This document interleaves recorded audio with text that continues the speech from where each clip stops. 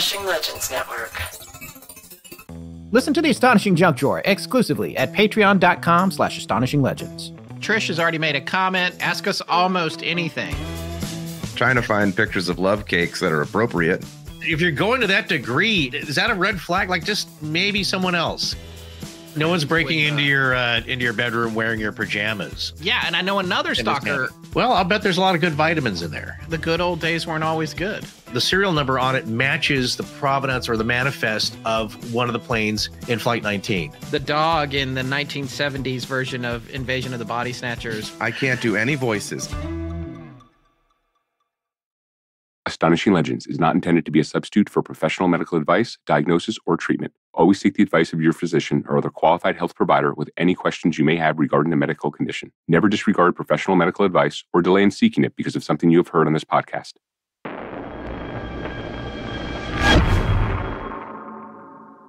Astonishing Legends would like to thank BetterHelp, Factor, our contributors at patreon.com, and you, our listeners, for making tonight's show possible.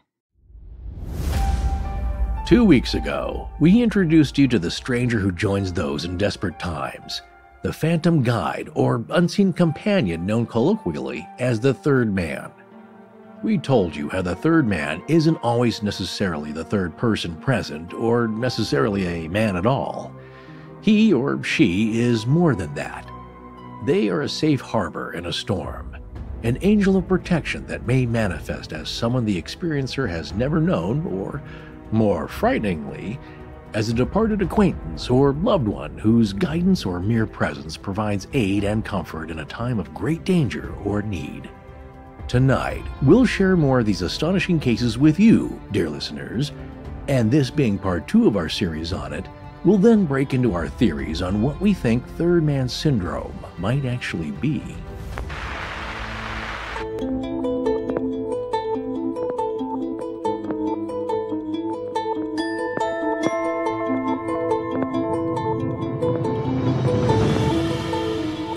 Welcome back to Astonishing Legends. I'm Scott Philbrook, and this is Forrest Burgess.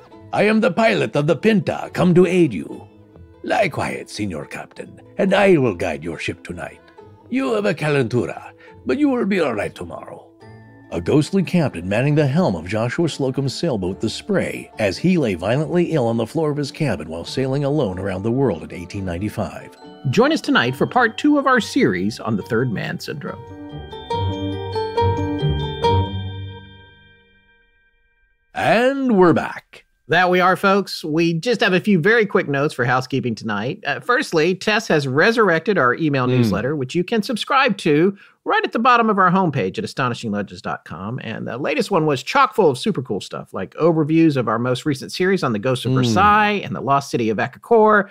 And our most exciting news, the launch of Richard Hatem's Paranormal Bookshelf, which drops two days after this episode posts. So that's Monday, March 25th, 2024, for episode one of Richard Hatem's Paranormal Bookshelf. Fantastic. You know, folks, there's a method in Rich's Madness.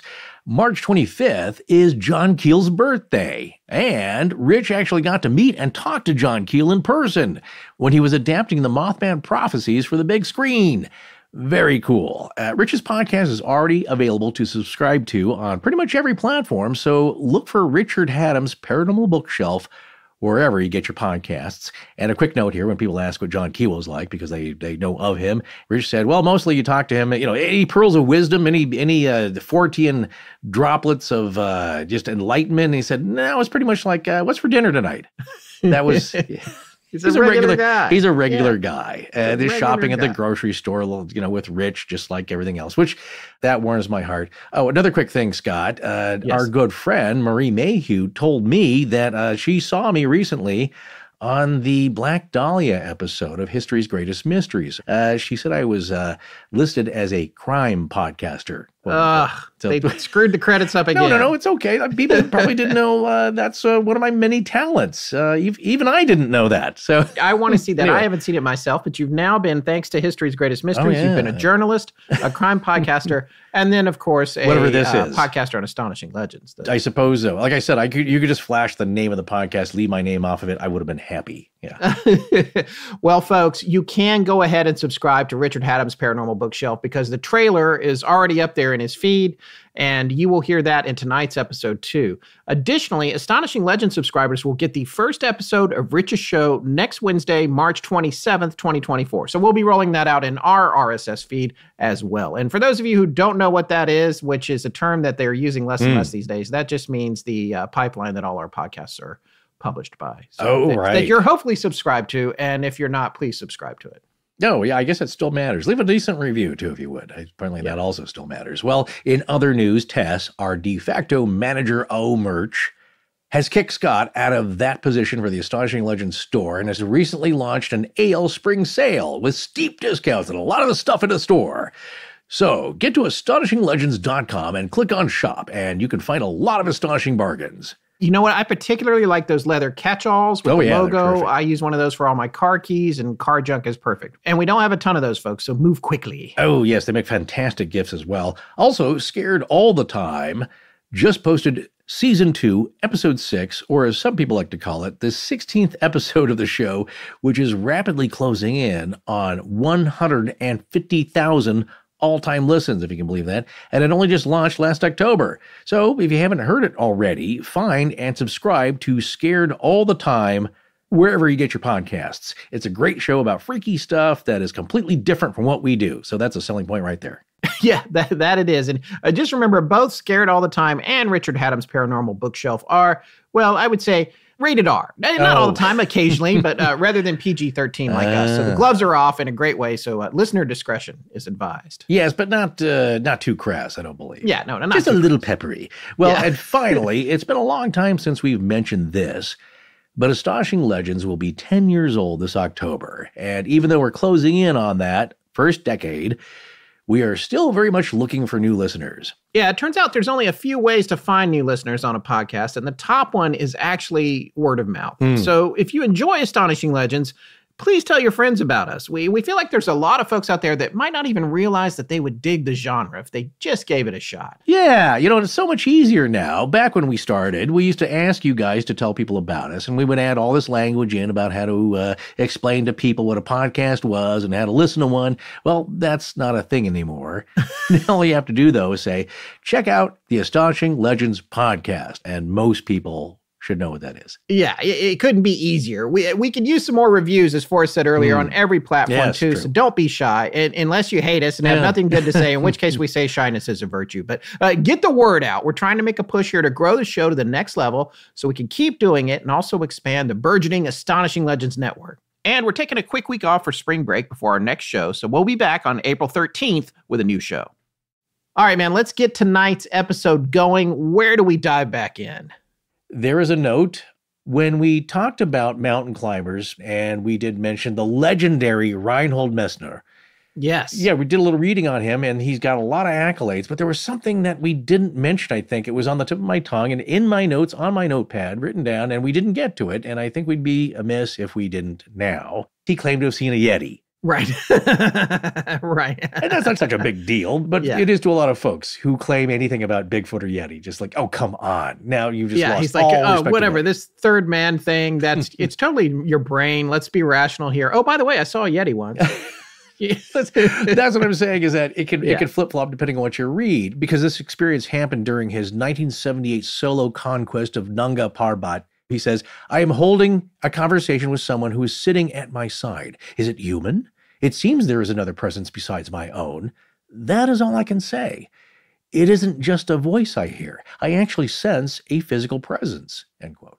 So he's saying, like, this is weird. I actually feel there's somebody there. And I thought, like, what would that feel like earlier today? It's like, well, exactly like the wake and go stuff when you're not stressed or starving or dying of hypothermia or on a mountain or on the ocean is a lot, a lot of people will turn around just knowing something is behind them without yeah. seeing them just feeling it. When they turn around and nothing's there, they're even more shocked because they expected, they knew somebody was behind them and no one was. It's shocking to me in, in almost 10 years of doing the show now. Right. I can only think of really one other time that we've talked about this, but have you ever, especially alone or camping or out on your own, felt like you were being watched by something and had like a hair raising feeling from it? No. Yeah, one time I was playing with a young friend in the woods near my house and we got spooked and ran mm-hmm. home and we were convinced that something was chasing us but in hindsight then i'm older i think it was just kids imagining that something was behind us and chasing us because we would have been super easy to catch. right, right. and, well, and, nothing caught us, but you know, a slow moving Jason uh, from Friday the 13th could have Yeah, been, right. You know. Exactly. no I did say in, in part one, though, during the hypnopompic episode, yeah, that I very rarely, but occasionally have, that one time is that I didn't really so much feel like there was a presence standing over me and I couldn't open my eyes or move any part of my body. It was the thought that somebody yeah. is standing there. And then that thought took flesh. The thought was like, oh my God, there really could be somebody standing over me. Right. And then it's like, what if they are? And so that turned into a feeling that some big entity was standing over my bed. And of course, then you, you know, you start twitching and you can wake up and you open your eyes finally and no one's there and you feel silly. And then I went to the back door and I'd left the kitchen door open. Folks, for the record, this was fairly recent. Forrest is not talking about a childhood memory here. This was not too long ago well, in, in Los Angeles, right? Let's say six, seven years ago. Yeah. I mean, no, oh, was that? I felt like it was more, well, it's since we've been doing the show. Yeah. It, like I said, it, what you wake up and it's not such a big deal because I didn't feel that somebody was there. In, in all my camping trips and all that stuff, I've never really felt like eyes were on right. me or something and, and, and, been scared in the in the woods or whatever. I've been, you know, freaked out that I I know there's animals out there watching right. me, but I, I, never felt like they were about to strike or anything like Even that. Even so. with a contemporary, a competitor to Messner, Polish climber Jerry Kukuczka, we did also mention him in part one, I believe, competing with him to become the first person to reach the summit of all 14 of the world's 28,000 feet peaks or 8,000 meters. And he had his own experience because, again, I've come to believe this is something I didn't realize is that it seems a lot more common than not. In that, if you yeah. talk to five climbers, one of them's going to have a story. But Jerry Kukuczka, as we said, I experienced a quite inexplicable feeling that I was not on my own that when he was in his tent brewing tea, he was cooking for two people. He said, I had such a strong feeling that someone else was present that I, I felt an overpowering need to talk to him. As he was standing still, fighting to continue on, that he would stand there and wait for the other person to catch up. And he yeah. said, from time to time, I'd let him pass so that he could go ahead. His feat there was that he was the first person to climb Everest without oxygen. And he spent 10 years looking for what he calls a chemo, and what we know as a Yeti, and he also saw one himself in Tibet. This is something I mentioned a while back in our Yeti series, which is one of my favorite series that we did with Dr. Daniel Taylor yeah. in his book on the Yeti, which is a truly a, a, an amazing book, and he was a fascinating guest. I guess that New York City has the largest Sherpa population mm, in the mm-hmm, United States. Mm-hmm. The story that I told about this was that uh, there was one time when my wife and I were had gotten in a cab and we needed to go to Brooklyn. At the time, we were living in Manhattan when it wasn't astronomically insane. I mean, it was expensive, yeah, but yeah. at that it was still attainable. So we didn't get to Brooklyn that much back then. Brooklyn's all super cool and hip now, right, but like. Right we were we had to go over there for uh, something I think was to party or something, and we got in a cab and we were joking about like I can't believe you know we haven't been out of Manhattan in forever, and now we're going to Brooklyn, and and then I looked up and I was like, oh, it's we have a Sherpa taking us. These are the guides right. that you read about. I had just finished Jon Krakauer's book Into Thin Air, which is an uh, amazing book. Yes. I mentioned it in part one. One of one of my favorite adventure books that I, have read. Uh, uh-huh. And so that's where I had learned about Sherpas. I had not been to Everest myself, and I'm sure all these people that are listening who have certainly know who they are. Amazing folks who climb Everest without oxygen yeah. because they're they're from there, native yeah. to the area. Yeah, exactly. and they they don't have as, as issues with that. They're the ones carrying all the stupid crap you bring when you try to go up there. Yeah, your cappuccino maker. I can't remember what her what her name was, but somebody carried that for her. Yeah, yeah, uh, um, Pittman, Sandy Pittman, yes. part of that famous uh, group that got stuck in a storm. Anyway, so we're riding into Brooklyn. I look up and it's like I was like, oh look, Emily, it's a Sherpa is taking us into Brooklyn. Okay, here's the question though: How do you know he was a Sherpa? This was back when there were still taxis in New York. It, having just recently been, I can tell you they're all but gone. They're nearly extinct wow. now, thanks to uh, Uber. Uh, and there was a lot of turmoil around that. But uh, at this time, there were cabs everywhere, hundreds of thousands. I think there's only like 20 or 30,000 now, but there was a lot of them, and they had to have that badge right there on the little divider and it said right there his last name was Sherpa. That was like his actual name was okay. Sherpa. So, yeah, well, so I was like, uh, oh, that's pretty cool. I take that as a good sign. It's a good sign. Uh, yeah, yeah. I definitely felt safe. I was like, no matter what happens, this guy's going to get us back to Manhattan. Very well then. well, continuing on with some interesting anecdotes. This is summarized in this paper by John Geiger and Peter Suedfeld called The Sensed Presence as a Coping Resource in Extreme Environments. I, I promise I'll stop reading the entire title of that and just refer to it as the paper from here on out. And once again, I believe a chapter within the book titled Miracles God, Science, and Psychology in the Paranormal. And that sounds like a book that you and I are going to have to read at some point. Uh, yeah. Well, continuing on with fascinating cases of the third man syndrome, this next case is quite curious because, if accurate, it may be evidence of the sensed presence originating from outside oneself, manifesting as a physical being that can control objects as well as provide advice and companionship. Uh, Scott, did you mention in part one here Joshua Slocum and the 1895 uh, expedition here? I think I made reference to the fact that we were going to bring it up in part two, so I'm very glad. Oh, that's right. Yes, you, uh, that's where I remember. Yes, you said we are going to talk about it, and here we are talking about it. Well, the story goes in 1895, Joshua Slocum sets out with a 40 foot sloop in an attempt to become the first solo navigation, circumnavigation of the world. And he succeeded, but he almost didn't. And he had a, you could say, a very ghostly presence with him. Scott is going to read from the book eh, because it's quite remarkable. So, Scott, why don't you let us in on, on the details of this anecdote? Okay, I, I was thrilled to find this book on the uh, Gutenberg Project. You know, right. they scan books. Uh, this is from Sailing Alone Around the World by Captain Joshua Slocum, illustrated by Thomas Fogarty and George Varian, and uh, this was published in 1900, uh, I believe. It seems to be the first modern description of the sensed presence experience. Yes. Again, from 1895, predating Shackleton. Okay, one of the things that Slocum talks about here, and by the way, this is very timely. We couldn't have planned this. You know, it's still Women's History Month, and mm-hmm. this woman, Cole Brauer, just finished a race around the world. She's yeah. the first American woman to race nonstop around the world. You may have seen her on the press circuit. She's on all kinds of uh, TV shows and stuff lately. There's some very cool footage of her coming in to finish the race where she's like on the back of her boat holding uh, giant sparklers. It's so cool looking. But she went around the world by mm-hmm. herself and, and just made this trip. And I don't recall her saying that anything like this happened, but there's she was on socials the whole time. There's yeah. some amazing footage that she put on Instagram, including one where she's on camera and you yeah. see her body just thrown completely across the cabin, like gets in a car accident. Just unbelievable. Yeah, she was hit yeah. by a bad storm and knocked around pretty bad and could have killed you. Yeah, so uh, amazing woman. You should look that up. Her name is Cole, C O L E, Brauer, B R A U E R. But one of the segments here in this book that Slocum wrote about this trip, I want to start here where he says, The loneliness of my state wore off when the gale was high and I found much work to do. When fine weather returned, then came the sense of solitude, which I could not shake off. I used my voice often, at first giving some order about the affairs of a ship, for I had been told that from disuse I should lose my speech. At the meridian altitude of the sun, I called out aloud, eight bells, after the custom on a ship at sea. Again from my cabin, I cried to an imaginary man at the helm, How does she head there? And again, Is she on her course? But getting no reply, I was reminded the more palpably of my condition.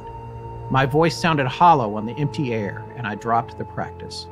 So that's the first introduction to this. And a little mm-hmm. bit later, he writes the passage that is most frequently referred to in reference to third man syndrome or third man factor if you're talking about uh, Geiger's book. I set sail from Horta early on July 24th, and I'm pretty sure this was 1895. The southwest wind at the time was light, but squalls came up with the sun, and I was glad enough to get reefs in my sails before I had gone a mile. I had hardly set the mainsail, double reefed, when a squall of wind down the mountains struck the sloop with such violence that I thought her mast would go.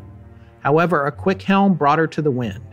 As it was, one of the weather lanyards was carried away and the other was stranded. My tin basin, caught up by the wind, went flying across a French school ship to leeward. It was more or less squally all day, sailing alone under high land. But rounding close under a bluff, I found an opportunity to mend the lanyards broken in the squall. Passing the island of Pico after the rigging was mended, the Spray, which is the name of his, his boat, stretched across to leeward of the island of St. Michael's, which she was up with early on the morning of July 26, the wind blowing hard. Later in the day, she passed the Prince of Monaco's fine steam yacht bound to Fayal, where on a previous voyage the prince had slipped his cables to, quote, escape a reception which the padres of the island wished to give him. Why he so dreaded the ovation, I could not make out. At Horta, they did not know. Since reaching the islands, I had lived most luxuriously on fresh bread, butter, vegetables, and fruits of all kinds. Plums seemed the most plentiful on the spray, and these I ate without stint. I had also a pico white cheese that General Manning, the American consul general, mm. had given me, which I supposed was to be eaten, and of this I partook with the plums. Alas! Exclamation point. By nighttime, I was doubled up with cramps. The wind, which was already a smart breeze, was increasing somewhat, with a heavy sky to the southwest. Reefs had been turned out, and I must turn them in again somehow. And for folks who have sailing experience, you know what that means. If you don't, reefing a sail means actually reducing the sail area by uh, mm. taking it down or reducing its size because the wind is so high that if you don't, you're going to break your mast or Ooh. tear the sail or yeah. have more serious problems. So it's just about reducing your sail area so that you can keep the boat more controllable. And that would indicate that you're in uh, high wind and, and possibly a dangerous situation. Between cramps, I got the mainsail down, hauled out the earrings as best I could, and tied away point by point in the double reef. There being sea room, I should, in strict prudence, have made all snug and gone down at once to my cabin. I am a careful man at sea, but this night, in the coming storm, I swayed up my sails, which, reefed though they were, were still too much in such heavy weather, and I saw to it that the sheets were securely belayed. In a word, I should have laid to, but did not. I gave her the double reefed mainsail and the whole jib instead, and set her on her course. Then I went below and threw myself upon the cabin floor in great pain. How long I lay there I could not tell, for I became delirious. When I came to, as I thought, from my swoon, I realized that the sloop was plunging into a heavy sea, and looking out of the companionway, to my amazement, I saw a tall man at the helm. His rigid hand grasping the spokes of the wheel, held them as in a vice. One may imagine my astonishment. His rig was that of a foreign sailor, and the large red cap he wore was cockbilled over his left ear, and all was set off with shaggy black whiskers.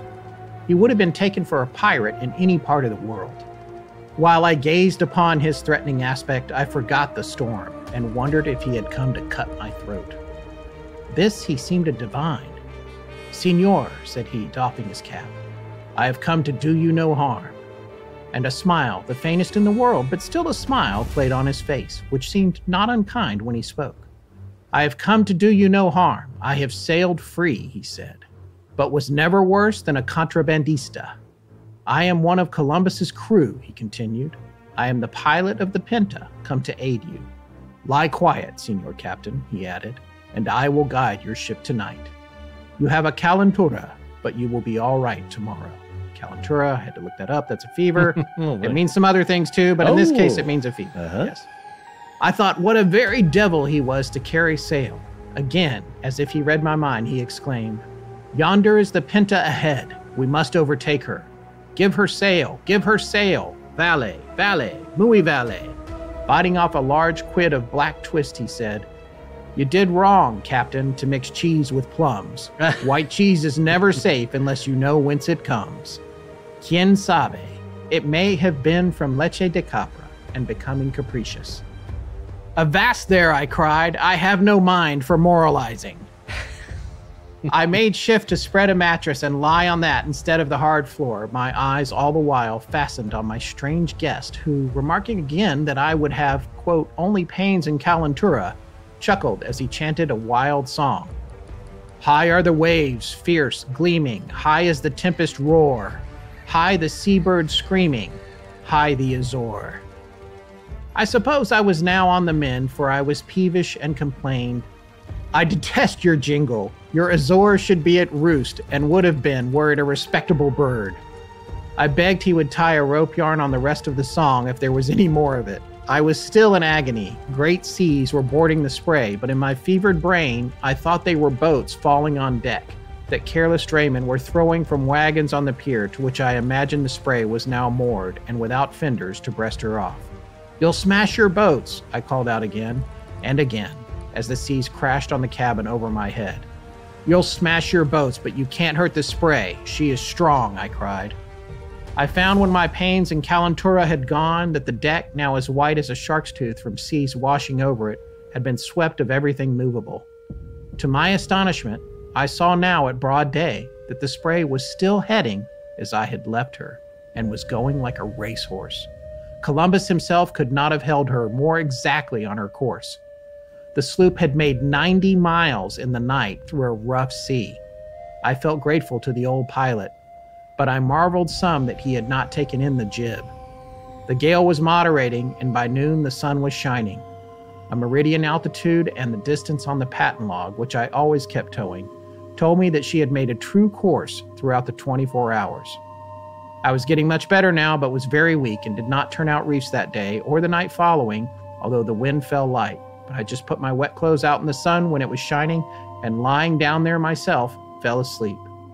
Then who should visit me again but my old friend of the night before? This time, of course, in a dream. Hmm. You did well last night to take my advice, said he. And if you would, I should like to be with you often on the voyage, for the love of adventure alone. Finishing what he had to say, he again doffed his cap and disappeared as mysteriously as he came, returning, I suppose, to the Phantom Pinta. I awoke much refreshed, and with the feeling that I had been in the presence of a friend and a seaman of vast experience. I gathered up my clothes, which by this time were dry, then by inspiration, I threw overboard all of the plums in the vessel. what, just got rid of a delicious charcuterie? That's pretty amazing, though, and this this is why I love going to the source on this stuff because mm. in in the books you read or the or the articles that are citing it back, it's like they're a little bit cherry, or in this case, plum picking the parts that tell the story uh. that they want you to hear. But for me, in a lot of ways, when you go back to the full segment there of what he wrote, mm-hmm. you are getting the big picture. You're getting that before this all happened, he was talking to himself and he knew he was doing that. And right, he was doing right. that because he had heard that if I go to sea and don't talk for a long time, I'm not going to remember how to talk anymore. So he started that's, doing that. Hey, that's a little like what we were talking about with uh, suddenly uh, Van Halen 2 album playing in your head. If yeah, I got exactly. nothing, get no stimulus, we're going to shut this down. And then uh, we're going to be playing albums that you may have forgotten about, but I've heard. Uh, what would be odd is hearing an album that you've never heard before. Yeah. And then hearing it later. This show is sponsored by BetterHelp. A lot of people worry about money, and I'm definitely one of those people. But these days, I've truly come to cherish free time almost as much, if not more, than a little extra money. I know what you mean. you and I both have hectic schedules, my friend, and then family obligations, and it's a lot to keep up with. I think a lot of people think about having more time. Like, what if we just had a little more of it? And and also, if time was unlimited, what would you do with it? I mean, for me, sometimes I just want to meditate or chill out, mm. but I also want to have more time with my family and my son who's growing up so fast. I oh, honestly yeah. can't believe it. But for a workaholic like me, the best way to manage time and get more free time is to figure out what's important and make that a priority. Therapy can help you find what matters the most to you so you can do more of that thing. Make the time for it. Yeah, I think everyone knows that feeling of working a particular job a long time. And, and when you make a change, uh, regardless of why, whether you're fired, quit, or maybe the place you're working at closes, not too long after that, you realize how much of a bubble you were in. It's like you were in a rut you didn't recognize. And, and as a result, maybe you've spent a lot of time on things you wish you'd saved for something else. Totally. I know that's happened to me where I'm just not even aware of the things I'm doing that are detrimental to my life, mm. wasting time on stuff that really isn't important in the grand scheme of things. Therapy helps you fix that. It helps you identify those things you can't see in your own life. It's been a while for me since I've been in any kind of therapy, but the therapy I did do left me with some revelations that completely changed how I interact with my family. And I still think about what I learned from that to this day. I had no idea some of the negative things I was doing, and I can honestly say that it improved my personal relationships and it helped me realize that I need to work on some things. Mm. As a result of that, I improved the quality of time I had with my family and also my personal stress levels. Oh, well, you know, that's pretty cool. I like that. Yeah, it is. So, uh, folks, if you're thinking about getting a little perspective on your life that might help you identify priorities and make more time for yourself, give BetterHelp a try. It's entirely online, designed to be convenient flexible, and available for you on your schedule. You just fill out a brief questionnaire to get matched up with a licensed therapist. And by the way, you can switch therapists at any time for no additional charge. Visit betterhelp.com slash astonishing today to get 10% off your first month. That's betterhelp, H-E-L-P dot com slash astonishing.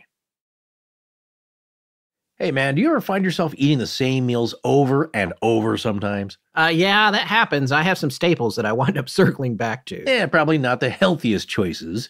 Probably not. Well, eating better is actually pretty easy with Factor's ready to eat meals. Every fresh, never frozen meal is chef crafted, dietitian approved, and ready to go in just two minutes. That's right. With Factor, you'll have over 35 different options to choose from every week, including Calorie Smart, Protein Plus, and Keto. Also, there are more than 60 add ons to help you stay fueled up and feeling good all day long. You can have a restaurant quality meal in just two minutes. They're ready to heat and eat wherever you are. They even have breakfast foods like pancakes, smoothies, and more. Mmm, you know, there's no prep and no mess, so there's nothing to cook or clean up. And you can choose your meals every week, and you have the flexibility to pause or reschedule your deliveries anytime. Factor is the perfect solution if you're looking for fast, premium options with no cooking required. Yeah, see, Scott, I bet you thought you were a cook because you used a microwave. Well, I guess, yeah, that's just heating and not cooking. But I- am okay with not cooking these days. I hear you on that. And that's the rule of every office mini kitchen. You are allowed to heat food, you are not allowed to cook food. So this would be perfect. There you go. It's two different things. Yeah. Well, we've done the math here. Well, Factor is less expensive than takeout, and every meal is dietitian approved to be nutritious and delicious. Sign up now and save head to factormeals.com slash AL50. That's the number 50 and use code AL50 to get 50% off. That's code AL50 at factormeals.com slash AL50 to get 50% off. This is Yaphet Leeds from Leeds Point, New Jersey. And when I'm not hunting the Jersey Devil, I listen to Astonishing Legends. Now, let's get back to the show with Scott and Forrest. He was talking to himself, but then he stopped talking to himself, but then he gets sick. He's in the storm. He sees this character and has conversations, interactive conversations with him, which is the same thing we heard from the Mountaineers that they were having conversations. Right. But they didn't always see the third man. Sometimes they sensed the right, person. Right. This was something that he said he saw. Now, maybe he's just putting color into his book, but it seems real specific. Mm-hmm. It is also, I would say, somewhat of a miracle that the vessel, the spray, stayed on her course for 90 miles through a storm mm-hmm. while he was below. If he did not tie off the helm at the very least, even if you were tying down the the boom and the sails and everything in a storm the wind is shifting like yeah. i don't know how that would have worked but i did find some interesting information mm-hmm. about the spray the ship he was on if you go and you look up joshua slocum and his trip around the world uh, when he did this a solo trip around the world on the sailboat the spray was kind of a derelict vessel it was not meant to be an ocean going, you know, blue water boat, as they might say these days. This is what it says on the Wikipedia page about it, though, and this is something to take into account when you hear this story. Spray was remarkable for its ability to hold its course for hours or days on end. Sailboat designer John G. Hanna said of Spray, quote, I hold that her peculiar merit as a single hander was in her remarkable balance of all effective centers of effort and resistance on her midship section line but cautioned that Spray was, quote, the worst possible boat for anyone lacking the experience and resourcefulness of Slocum, end quote. Cipriano Andrade Jr., an engineer and yacht designer, said of Spray, quote, after a thorough analysis of Spray's lines, I found her to have a theoretically perfect balance. Her balance is marvelous, almost uncanny. Try as I would, one element after another, they all swung into the same identical line, end quote. Slocum himself praised his sloop as, quote, easily balanced and easily kept in trim, end quote. So that's the big picture there. Mm-hmm. So you hear the story, you hear what he experienced, you hear that this vessel was very good at maintaining a straight line. Right, right. Still, I would say at sea in a storm overnight, 90 miles, and staying on course while you're below deck throwing up and God knows what else is happening with the food yeah. poisoning, that's still a pretty magical feat. And then coming back around for us as we get into theories later in this episode, what's going on here? Because there's a difference between this and what's needing to happen on that vessel for it to maintain its course and just being tired in the snow and having a conversation with what you perceive mm-hmm. as an additional ghostly person who's with you and accompanying you there's a lot that needs to be going on here and had he not had this companion he would have had to maybe tie everything down tie off the helm yeah. and hope it would stay on course while he recovered below which you think he would just point out he would say oh I, you know i tied a line off to the helm to keep the rudder where yeah. it needed to be amidships or whatever, depending on the current. I set the sails and the jib and tied everything off, and I just went below and hoped that I would feel better. He didn't say any of that. He just like I was down below and I looked up and this dude was selling the boat for me.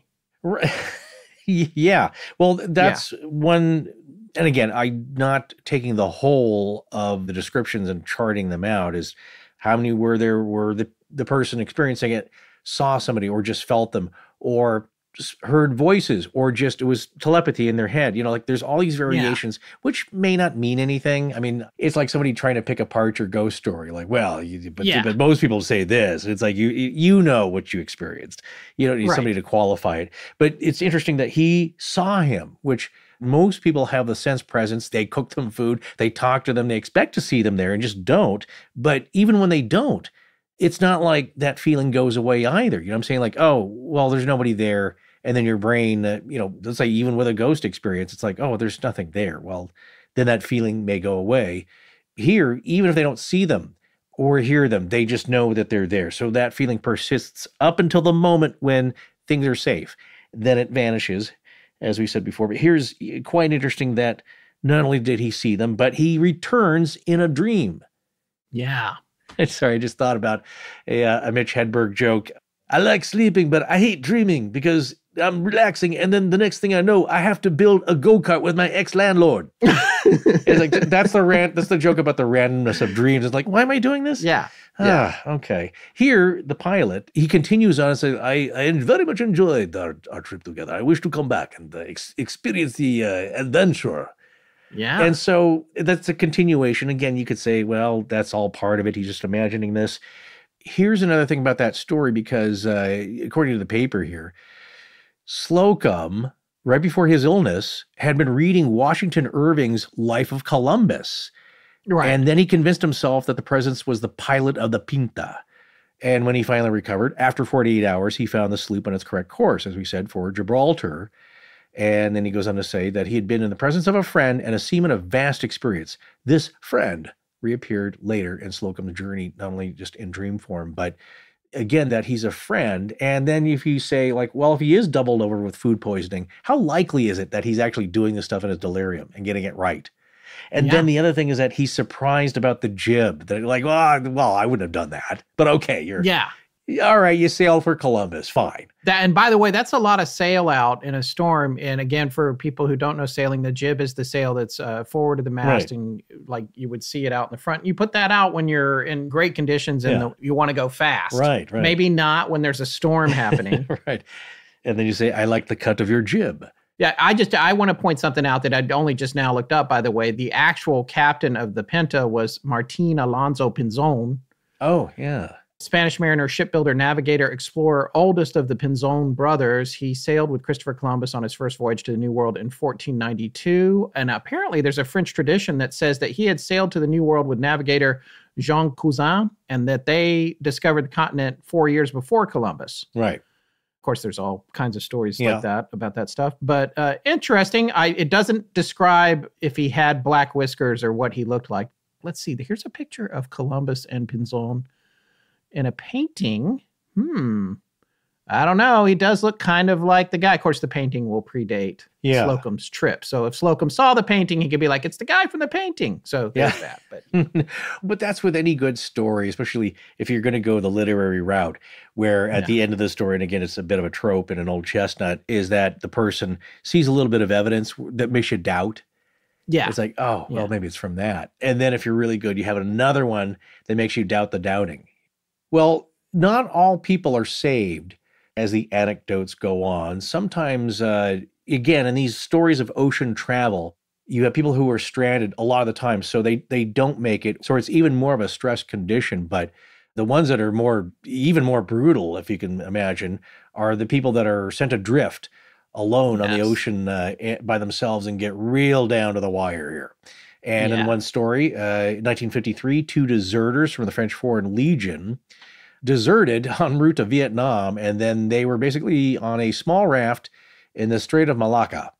And it's a busy shipping lane, but nobody saw them. And they started to drift into the Indian Ocean. And now they have no provisions. They're starving. They're dehydrated. Sharks are chasing them. And during the 32 day ordeal, one of the men, a Swede, died, but the other person, a Finn, a 24 year old named Ensio Tiira, survived. And he said, uh, For the whole voyage, I had the strange feeling that someone else was with me, watching over me, and keeping me safe from harm.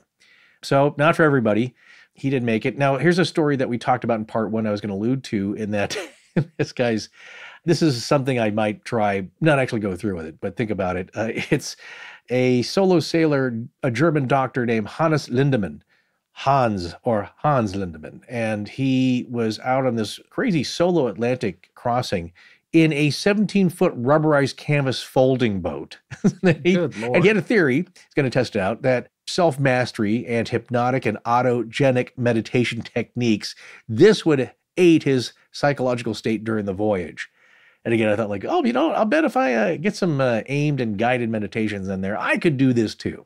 By the way, I'm just quickly going to say that in looking at a picture of this guy yeah. in his boat, and it looks like essentially a sunfish that somebody turned into a yeah. Gilligan's Island boat. Well, there you go. That is nuts. That's crazy. What I was going to say, his companion was African, and he said yes. uh, as he would wake up, he looked around for his companion and then realized no one else was there with him. So it was continuing on through the whole journey, but I'm not really sure that he was in that much danger other than it's just perilous.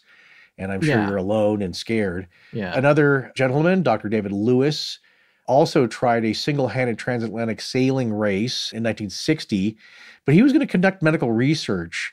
Uh, he kept a daily log and it was recording the amount of, uh, you know, his responses to danger, exhaustion, all that. And near the Grand Banks, uh, he had the feeling that he was not alone and that another person was at the helm. The Grand Banks, by the way, another amazing adventure book by um, Sebastian Junger, The right. Perfect Storm. Uh, yeah, that's, that's where right, all yeah. that stuff went down. Yeah. Well, the Atlantic, as a sailor told me, the Pacific uh, matches its name pacified, peaceful. Yes. Atlantic, not so much. Very, very tall seas there.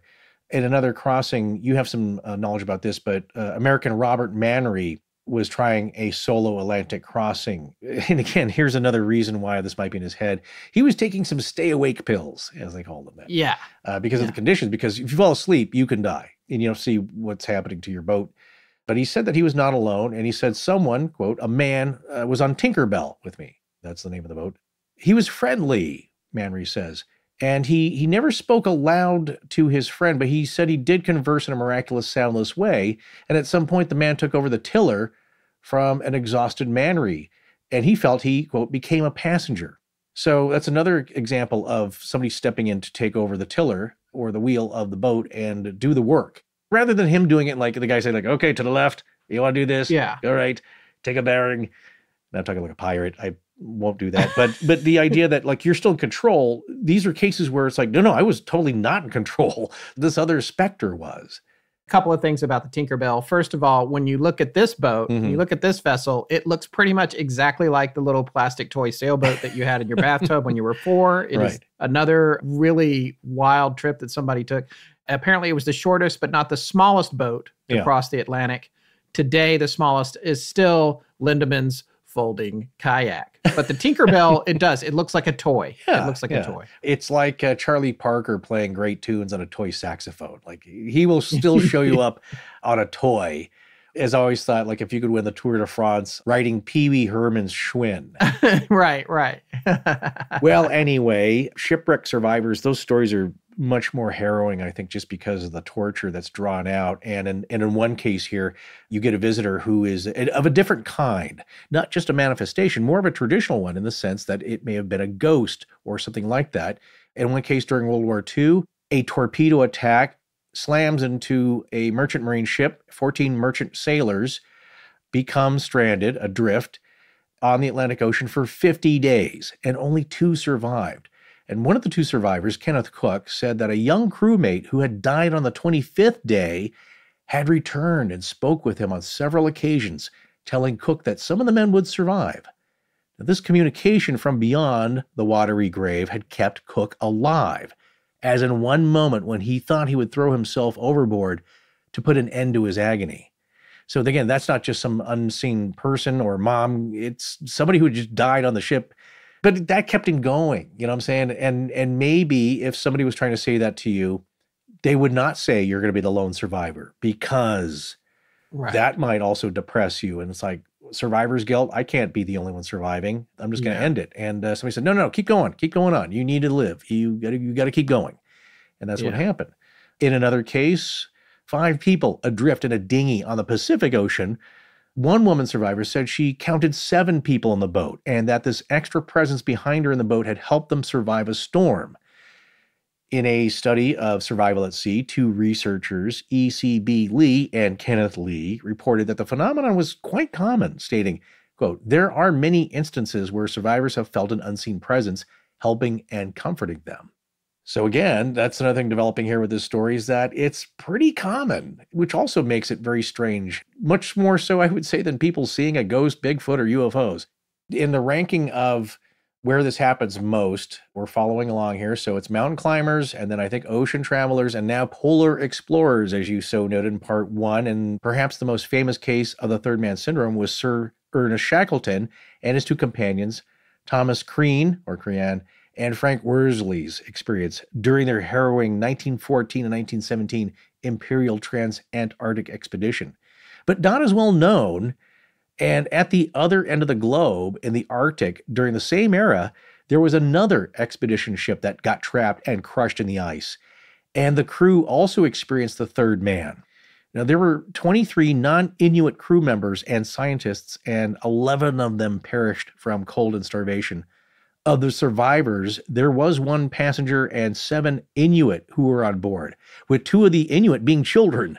And this sense of presence or third man figure also took on religious significance for the survivors. And even though this was up at the North Pole, that just highlights how significant it was that Sir Ernest Shackleton managed to get everyone that right. left with him home alive. Again, you could say, or you could chalk that up to bad supplies, but danger and this treachery happen. Well, it continues to this day. It doesn't matter because no, no matter how well equipped you are, you can get caught suddenly and find yourself in a very uh, perilous situation, as did Alan Parker in 1968, uh, March, who was working as a carpenter with a sub-Antarctic Australian possession on Macquarie Island. John Geiger interviewed him in 2005, as he did Reinhold Messner. Not that same yes. year, but he was able to, uh, Geiger was able to interview Messner. Well, Parker was trapped in a severe storm, whiteout, with sideways rain and sleet.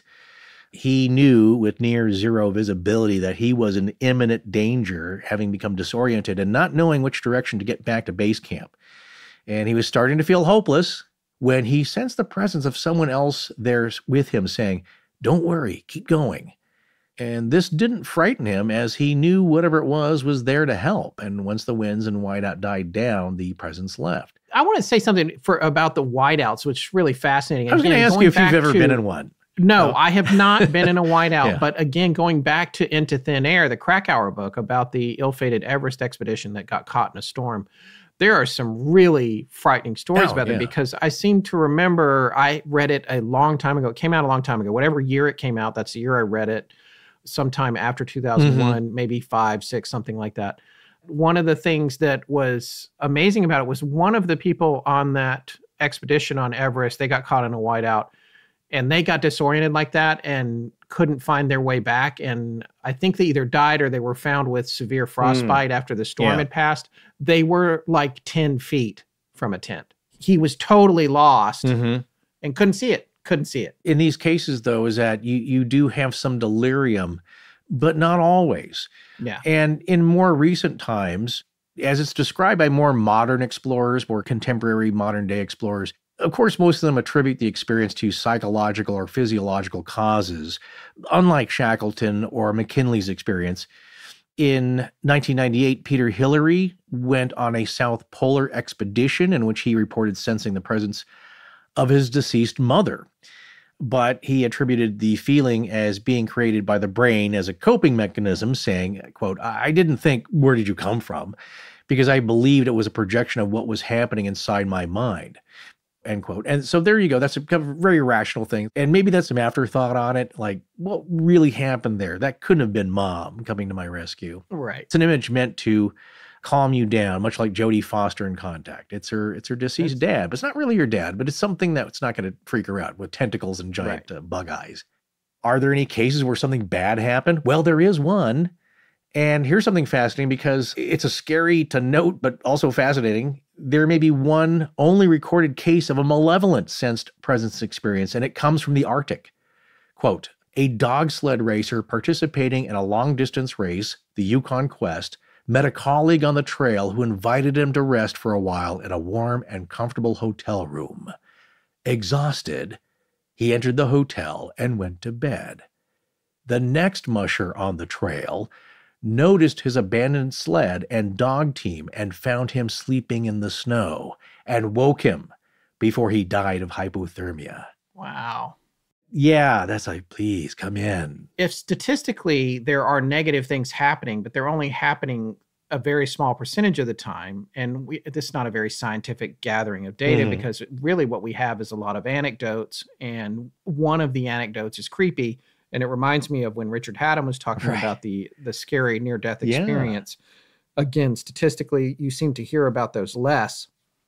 Again, not a scientific analysis, but if it comes down to this being internal or external or uh, angels, one cannot imagine why an angel would encourage you to lay down in the snow and die.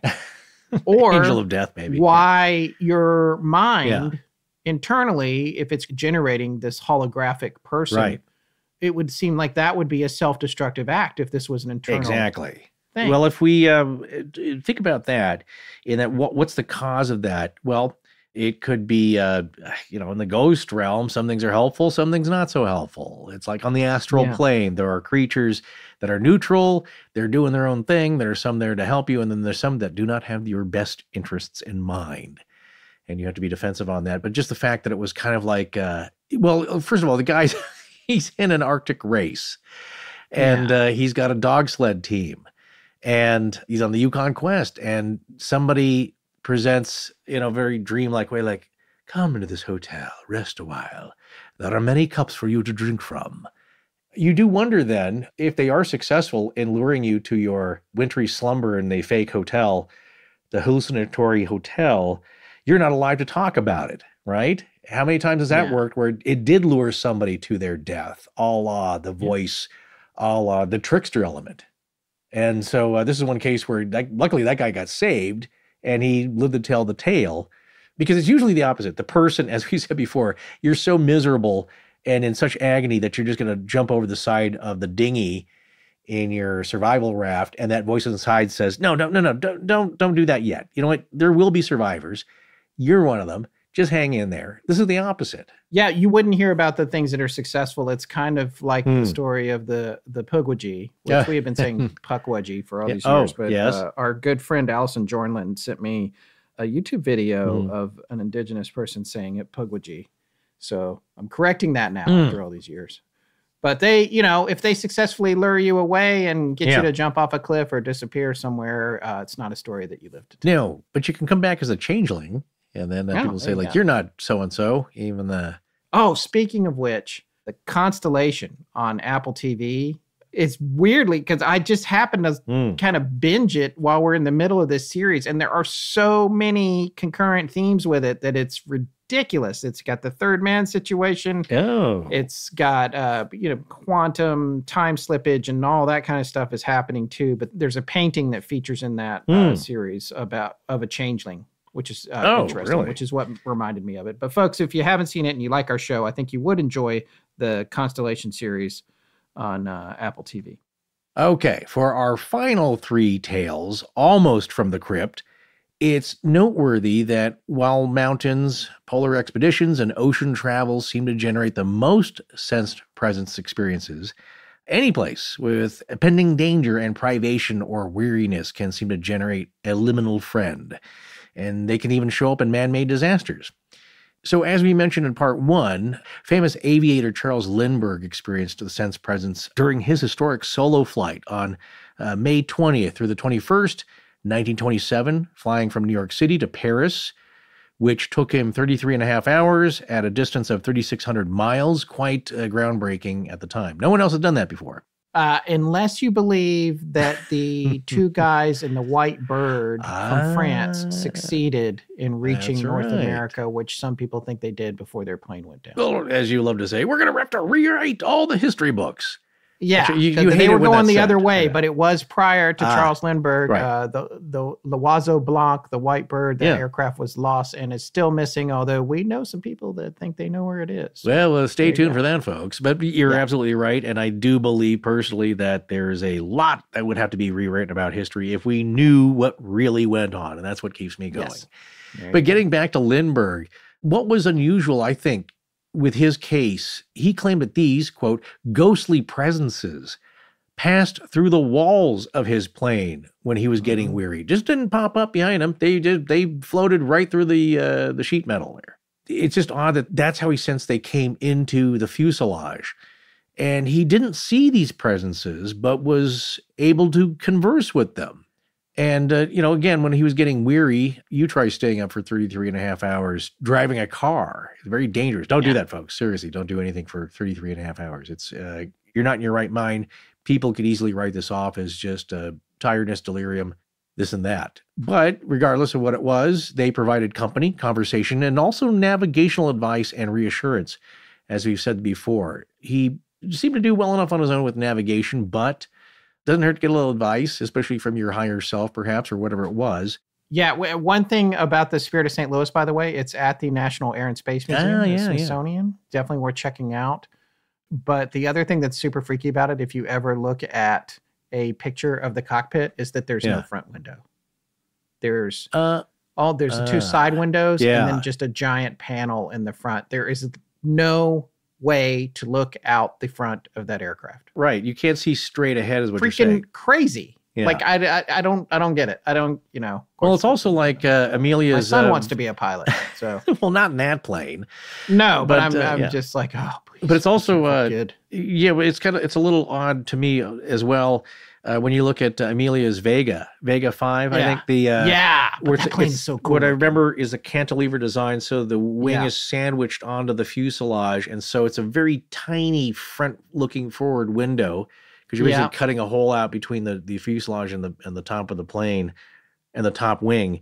And so really you're looking at the side. Yeah, I think there's yeah. something odd about that, right? But eh, yeah, come on, strange. you're on the but air. I mean, that's what like a lot of times when you look, and I'm sure everybody's done this when who's flown. You know, you get in, you peek into the cockpit, the doors yeah. open, they're up there doing the checklist, and you look, and you're like, the windows are pretty tiny at the front. It's well, like the, see, the dashboard comes up to the top of your eyebrows. Yeah. It's like, how do they see anything anyway? well, hey, come on. It's you're you're in the middle of the air. There's not yeah. a whole lot of other stuff going on, you know, except for yeah. geese and other birds, uh, which you hopefully don't strike. But but another area, an instance where this phenomena can happen in any geographical area to the extremes, the EUEs, up in the air, in the ocean, on the ocean, down below the ocean, on the high mountain, and in our next story here, in a canyon on the ground.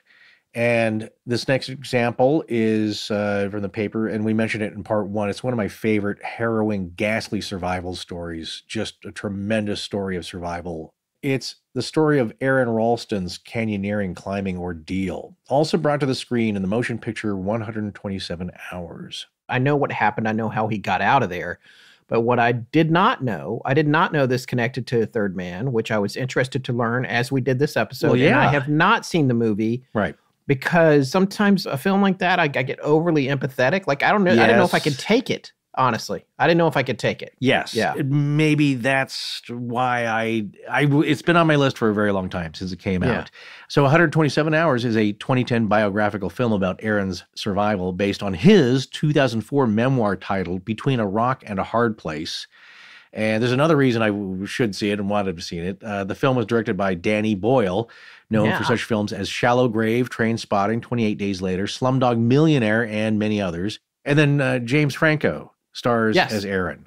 Yes. Well, I want to briefly summarize his story here because I just found it so as inspirational as it is gruesome. And speaking of gruesome, uh, we're not going to get into too many of the gory details, but he does have to free himself, as some animals have done when they get caught in a trap. I'm sure you've heard of that uh, trope before.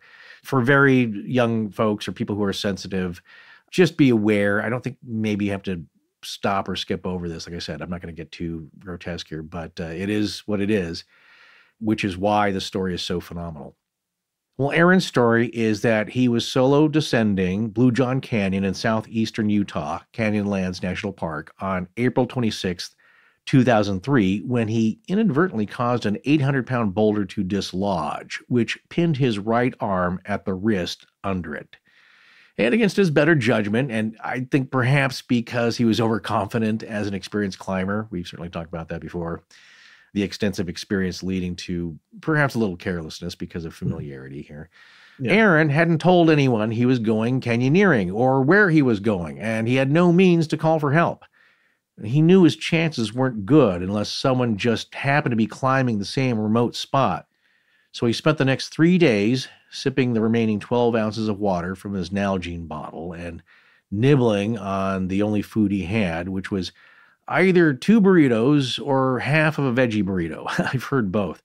On the fifth day, a dehydrated and increasingly delirious Aron Ralston was losing hope and not expecting to survive the night. He then started to chip out his name, date of birth, and the date he expected he'd die in the sandstone rock.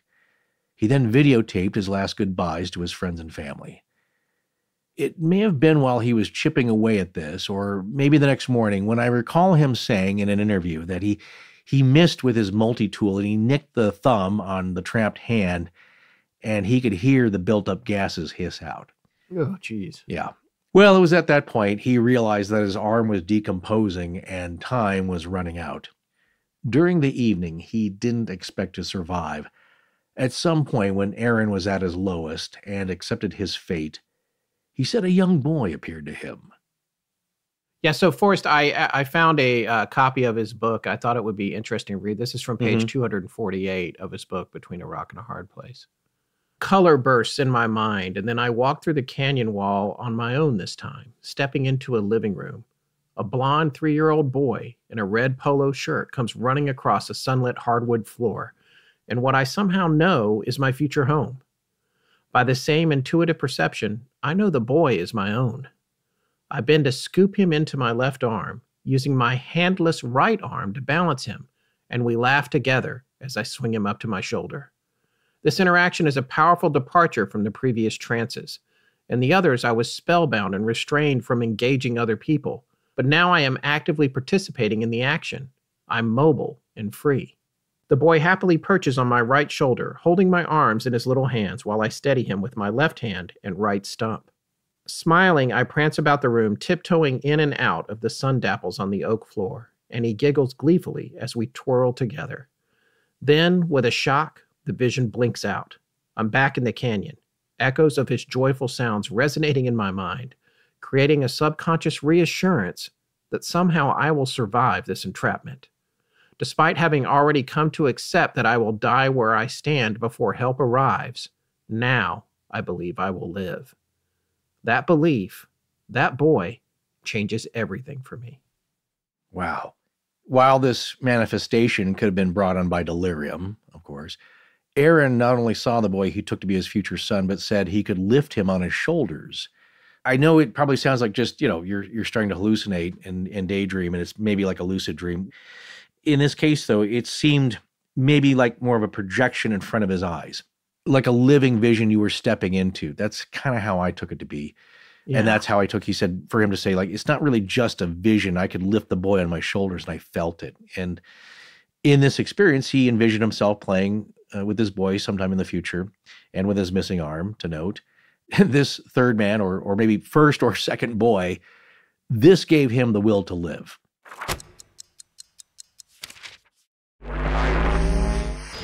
We in? Is it going? Uh, yeah, I don't. I think so. I think the. I don't know how long this feed's gonna hold, but I think we're in. We hacked the feed. We just turns out. Okay, great. We should get started then. Scared all the time. It's a podcast about things that scare us. Whoa! What are you doing? I'm making a trailer. They asked for a trailer. Like, got my trailer music, doing my trailer voice. No, yeah, that's that's false advertising. We're just a couple idiots talking about things that scare us. This kind of seems like overkill. Maybe you should go for something spookier, like something scary. Okay, fine. Scared All the Time is a podcast about things that scare us. No, that's too scary. Okay, well, I only have one more piece of music. This will have to do. I'm Chris Kalari. And I'm Ed Vicola. And every week, we're going to take a look at something new that scares us and why. Uh, like this trailer going over a minute. Yeah, they said we definitely should not do that. Join us for season one of Scared All the Time, a brand new show from Astonishing Legends. Available anywhere you listen to podcasts. Hey, Richard Hatem here. You've probably heard me on Astonishing Legends, but now I have a podcast of my own Richard Hatem's Paranormal Bookshelf, where I talk about all the books I love, the stories behind them, and how they made me who I am. The first time I read the Amityville Horror, I felt like I knew the Lutz family. George brooding and moody, Kathy paranoid and somehow guilty, the boys fighting like savages, Missy hanging out with a ghost pig named Jody. Maybe that's the part I identified with the most. Not the pig, the feeling that they were all losing their minds. That's when I learned there are basically six stages in the life of every parapsychologist curiosity, investigation, doubt, acceptance, James Randi, and depression. A hole opened up in the wall of his apartment, and an insect like being, the size of a tall man, but in the form of an enormous praying mantis, stepped through. Odd, even for New York. We're leaving the highway now. Have you noticed the paved off ramp we took has turned to a gravel path, and now a dirt road, and now nothing at all? Have you noticed how quickly the sun sets here? It's too late to turn back now. Everything's closed for the night. Why not sit down? I'll light a fire. There's a story I need to tell you. I'm inviting you all to join me on Richard Hatem's Paranormal Bookshelf. Come for the books, stay for the frankly surprising amount of oversharing.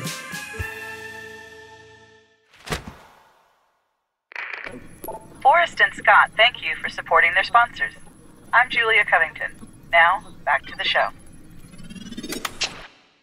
Well, I wanted to mention, I don't remember that anecdote. And I think maybe it's probably one that he was not ready to tell in most interviews, perhaps closer to the time that this happened. Yeah, I don't remember that either. When he was doing the news circuit and everything, I don't particularly remember that, right. you know, because I didn't go very far down the yeah. rabbit hole on his story, but I remember him being on the Today Show and stuff yeah, like that. Yeah, yeah, yeah. I don't remember him talking about that. Well, for the reasons we said. I mean, people might have said, like, oh, that's too bad. You were hallucinating. And uh, it's easier not to say that or keep it more personal or save it, I guess, for the book or a memoir when you feel more comfortable with it. One thing I think our listeners will notice is there's a pattern here. We're seeing a pattern with all these stories going back to Shackleton.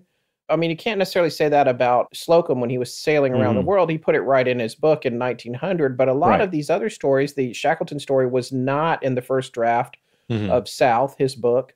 And uh, the other cases of this, they don't necessarily tell those stories when they first recount what they yeah. went through, right. which is interesting for a variety of reasons that also might connect to that phrase that we often bring up paranormal apathy. But in mm-hmm. addition to mm-hmm. that, there's kind of a strange blind spot or camouflage yeah. that goes over these kinds of events when they happen to you. Right. You have to really think about them to bring them back. But then the other thing is, oh, you know, I don't want people to think I'm crazy. Yeah. You know, or just say I was hallucinating. But right. to Ralston's credit, he points it out and he makes it very clear that it was a poignant moment for him. It's incredibly intimate and personal. What else is there other than like that is at your moment, your most desperate point, and this happens, and it's easy for people to write that off or maybe even make fun of you for it. But I think it maybe at some point you don't care what other people think. Like that's what I know. That's what happened. But the anecdote I did remember because it stuck with me is also uh, not as perhaps sensational or fantastical, but very poignant and almost mythological. And so I like to tell this as well. You got to realize he's in a canyon, slot canyon, and he has a narrow view of the sky. Right. And so uh, during that day, you know, after the first night, I think starting with the next day, what he remembers, imagine also the boredom and just going over in your mind, like, how did I get here? Man, I should have told somebody where I was going. Oh my God, you know, how long is it going to take them for them to figure out that I'm missing? All these things, nothing there, not even food or water much. You're just alone with your thoughts and your regrets and just going over everything in your mind. And, you know, it's a very barren place as well. Not many people hiking it. So his view of the sky, though, at a specific time during the day, this bird flew over, this big bird. And I can't remember if he said it was like a raven or a hawk, something of that size, just significant to make you pay attention. That's pretty much the only thing he saw all day, I think, just that hawk flying over his slot of the canyon. And then the next day, around the same time, the same bird or another bird flew over the same pattern, the same way. And it happened again the next day. And then the day after that. And I believe it was on the fifth or sixth day, he didn't see the bird. And that's when he knew that's my sign. If I'm going to do anything, if I'm going to get out of here, I've got to go now. I've got to do this now. It just kind of yeah. gives me shivers, just like that was his sign that the last day, like, I'm not coming back, man. Right. You've got to get yourself out of this if you want. So at that point, he knew he had to take extreme measures if he was going to survive. Aron was then struck with the idea that with his knowledge of mechanical engineering and using leverage, he could break the bones in his arm using torque against the boulder, as the dull knife and pliers wouldn't be able to get the job done alone. He fashioned the tubing tourniquet and proceeded with the operation, leaving the major arteries for last, with the whole thing taking about an hour to complete. And I remember him saying the worst part was severing the major nerves which run through the bones, I believe. He said, oh, uh, yeah, he said, God. because the rest of the arm's kind of dead, you're not feeling it so yeah. much. He said, well, this is not too bad. I mean, it's still horribly painful, but it was then when you hear a, a twang. so, yeah. Yeah, he said that made you see stars. Well, then Aron fashioned a sling for the arm, and then he had to rappel 65 feet or 20 meters down the sheer canyon wall. And then once he got past that, his car was eight miles away, and there was no phone in that either. But by sheer luck or chance, after a little over six miles of hiking out of the canyon, Aron happened upon a family of three who were vacationing from the Netherlands. Eric and Monique Meijer and their son Andy were, of course, shocked to see this sight trudging towards them, but they gave Aron food and water and rushed to notify the authorities. By this point, Aron had lost a quarter of his blood volume and 40 pounds overall. It was about four hours after amputating his arm that Aron was picked up by helicopter in a wider area of the canyon. And they were coordinating now with the family who was reporting him missing. So they, they narrowed down the area. And he said later that his fear was that he'd have bled to death if he'd severed his arm any earlier. And if he hadn't, he would have been found dead, still pinned days later. So, whenever that hawk came over, that was the sign, that was the time to do it. You can take that as a sign from above or not. I don't know. I was but... looking through his book. He also mentioned that how he felt kind of guilty mm. about the vision he was presenting to the Meijers' poor young son. You know, he comes walking up, his arms yeah. missing, he's it's... like a mess, and he's like, he basically gave thought to like the lasting oh. impression oh. that that young man would probably have. You know, people take those kind of things differently. Uh, maybe it inspired him. It uh, maybe it grossed him out. Uh, maybe he become a doctor one day. yeah. Well, after this incredible trial of will and endurance, Aron Lee Ralston worked as a mechanical engineer and became a motivational speaker and continued his passion for climbing, becoming the first person to scale all of Colorado's 14ers solo in winter. In Western U.S. mountain climbing terms, a 14er is a mountain peak with an elevation of at least 14,000 feet, and there are 53 14ers in the state of Colorado. You, sir, have spent a lot of time in Colorado. Have you ever climbed a 14er? No, I have not. Me neither. So there's the book, Between a Rock and a Hard Place, came out in 2004, a must read. Well, now the paper features two uh, remaining stories, actually, one more. And this one's significant in that it includes a third man, sense present scenario, but with a man made scenario. This took place on September 11th, 2001, or 9 11, as we say here, and involves uh, the case of Will Jimeno, a New York Port Authority police officer who got buried in the concourse level of the World Trade Center just when the first of the Twin Towers collapsed. The first story that's presented in the uh, John Geiger book is also pretty harrowing and, and, quite a story of survival, also taking place in uh, the Twin Towers.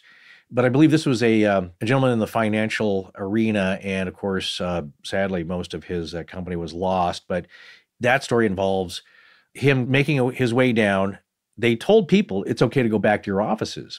Well, he started to make his way down, and then he was met by some other people who were coming on their way up, and they said, "No, no, no, you can't go down anymore. It's unpassable." You know, they were just clinging to the floor, black choking smoke, heat, flames. So they were all trying to make their way back. But at some point, there was another figure who convinced him to, "No, no, we got to get down. I know there's fire or whatever, but we can bust through this wall." It had to do with where the elevator blocks were that this was saved, this location, because of the massive elevator shaft, as you can imagine, for that building.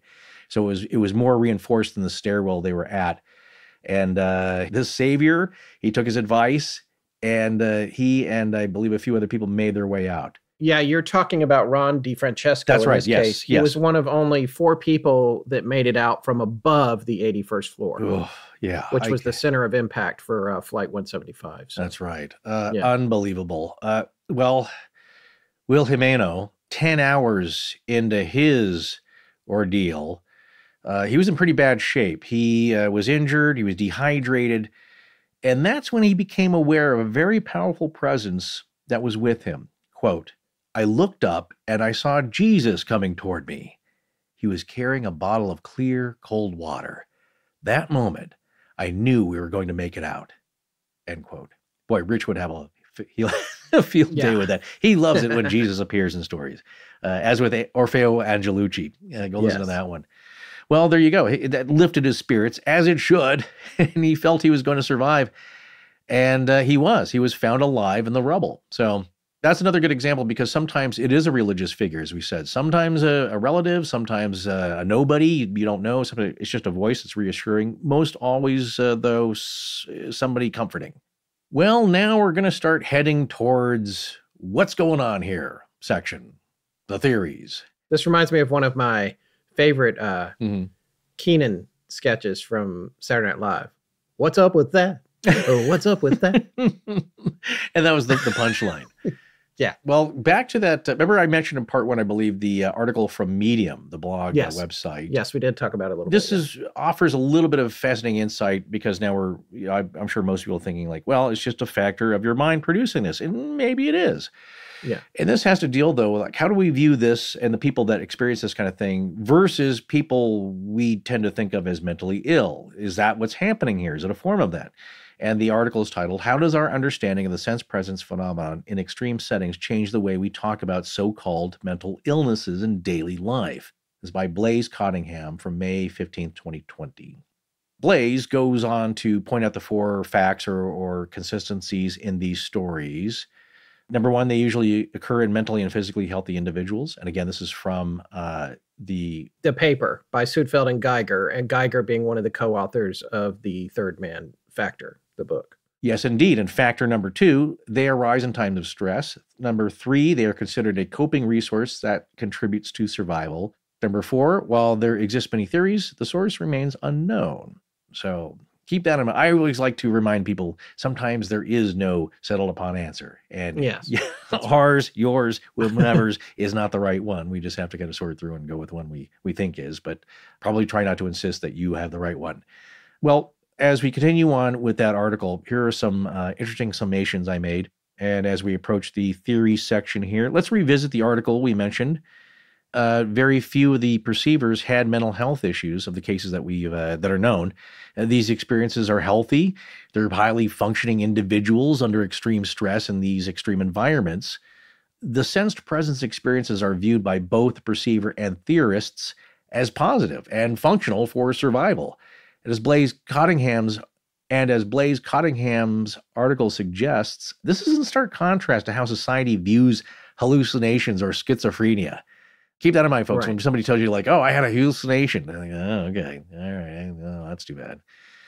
They attribute it to a mental illness. Well, the dominant medical model in the field of psychiatry, quote, makes a distinction between the presence and absence of psychotic symptoms, advocating that hallucinations are qualitatively different to, uh, internal quote, normal and uh, internal quote, experiences, end quote. So the article goes on to posit that if sense presences are commonplace in healthy populations, it's now questionable to make a categorical difference between what's normal and abnormal. And if you reject that polarized view, then you might look to what's called a continuum model psychology. I'm sure our students of psychology out there and practicing professionals uh, know what that is. I will continue on here, which uh, which just basically simply views unusual experiences as a response to stress. So there you go it's a way of defining this without like you okay you're either healthy or you're crazy and if you see stuff you're crazy right very right. crude terms i'm sorry but uh, right. that's basically what they're saying here so referring to researchers peters and colleagues they say it's not the number of psychotic episodes that differ between people with and without schizophrenia but the level of distress so in support of these continuum models it might explain why a sensed presence experience for some people are just a functional coping mechanism, while for others it might be associated with debilitative mental illnesses. Distress is subjective, and stress can lead to dysfunction. However, in the context of extremes, stress can also be eustress, which, according to Merriam Webster, I had to look this up just to be sure again, is, quote, a positive form of stress having a beneficial effect on, on health, motivation, performance, and emotional well-being. It's it's kind of like when you get stressed out about a, a, promotion or a vacation, maybe. Or maybe your stress leads you to studying more for your pending exam. Well, there you go, and you do well. Well, that's funny you mentioned that. I don't think we mentioned it before, but it's in the uh, dedication or prologue. I think it's a friend of John Geiger's, but it's Vincent Lam, and he has his own Wikipedia entry, but he has a, a story of his own, which is also, I think worth mentioning now that you brought it up because it's not a mountain climbing story. He was studying for his medical exams, I think to get into medical school. So hugely stressful time for him and just cramming his head. He he was doubtful. He didn't think he was going to do it. He wasn't he wasn't eating or sleeping very much, just studying constantly and thinking he wasn't doing very well it was kind of like adventure medicine, I think was his emphasis as well, late, later on anyway. But he said he was just beside himself. Like he's just like, ah, I can't just hitting his head against a, a brick wall of books. And and then he, I think what the deal was is he was taking a shower and he just had kind of this epiphany where this voice came to him and said, like, okay, calm down, dude. you you got this. Yeah. You're gonna be okay. Yeah. You're gonna be okay. But yeah. this is what you're gonna do. Okay. Stop wasting your time with the other stuff. Focus on this book or that or whatever. It had a game plan for him, this voice. Right it was like a waking vision moment where just like, okay, you're going to be fine, but you're spinning your wheels here. So go do this. And you're still going to have to study, of course, but do this and you'll be fine. And he was. Write down these 10 commandments. just stop uh, cramming Netflix. Yeah. No, whatever it was, it was just, again, it was the, uh, the advice that you needed. And he probably knew that himself, but he was so up in his own mind, he could not think straight. And so, I mean, it's also a lot of bad stress that comes with it because uh, you're you're probably over worrying and to uh, to quote, uh, it's like it's hard. It's, it's kind of a, a Zen koan. I think Ricky Jay from the movie The Spanish Prisoner. I'll get this. Oh, yeah. Yes, it was one of my favorite uh, uh, Mamet uh, lines here. But he says, uh, "Worry is interest paid in advance on a debt that never comes due." Yeah. So think about that, folks. Well, to go on to sum up the article here yeah, it can be, uh, it, can lead to a positive outcome. Like I said, it's a very stressful, uh, unhealthy environment being uh, that close to uh, your your demise. But the positive outcome is you lived. It gave you the will to survive. And whether stress is harmful or helpful depends on how one views the source of the stress. So, the article's conclusion here how might this work here continue to shape society and human behavior and health in the future? Which I think is a fascinating way using this example of the sensed presence with mentally healthy people, considerably, with mentally unhealthy people, and how we should think about that, and stigma, and all that, and uh, clinical study.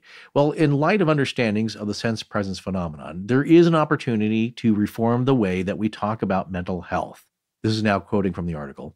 The benefits of shifting from a categorical medical model that views people as either mentally ill or mentally healthy to continuum models, which advocate that unusual experiences are normal responses to stress, is twofold. Firstly, it promotes the consideration of appraisal mediating the relationship between unusual experiences and their outcome, leading to more effective interventions. And secondly, since stigmatization often results in uh, from seeing people as fundamentally different, it's suggesting that people with mental health issues lie on a continuum with those functioning highly enough to travel across Antarctica would contribute greatly to reducing discrimination faced by those in distress.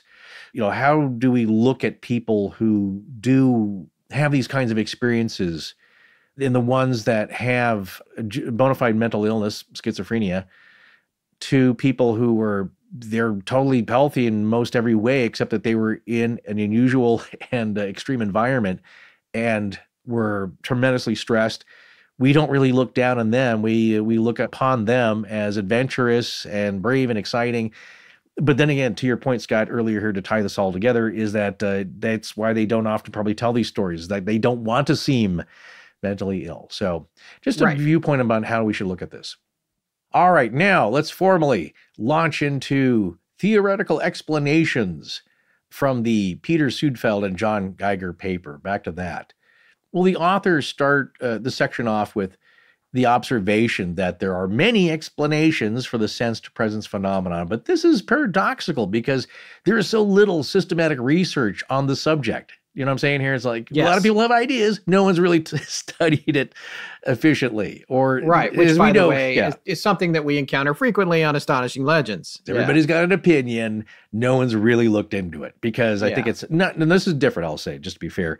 It's just that you don't have a lot of data. I think it's fascinating to a lot of researchers, but it's just not an area that people have studied. Then you wonder why, like no one has studied this. is so fascinating. Well, Geiger and Suedfeld go on to posit. You might have a lot of theories because of the dramatic life and death context of these cases and how far these are from average or mundane paths of experimental and clinical psychology, which gets theorists interested because it is so outside the norm, is what they say, than most most people have. So the authors note that the theories range from the mystical to the psychodynamic to the situational and the neurological. Suedfeld and Geiger, from their research, posit that maybe the simplest and most direct explanation is that the sensed presence is not an illusion. It's genuine. There really is an entity next to the person experiencing the phenomenon. What do you think about that? Wow, I think we're starting out with the fringe here. I thought we did the fringe last. Before you jump to the woo and think that, uh, oh, Suedfeld and Geiger, they're those kind of researchers. I get it. Okay. All right. Before you think that, they do want to knock this first one down. Now, uh, yeah. uh, I'm going to come back to it and our personal things because uh, I like this passage here. Won't you read this for us? All right. Yeah, this is pretty fascinating little bit here. So, perhaps the simplest, and I'm quoting now, perhaps the simplest and most direct explanation is that sensation of a presence is veridical.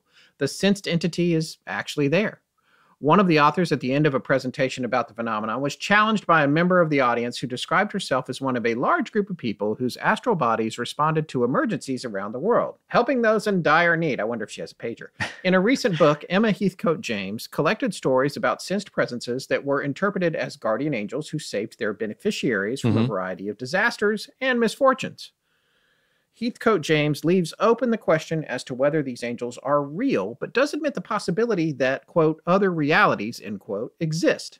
Our answer to angels and traveling astral bodies is the same as that made to the woman whose astral body participated in rescue activities.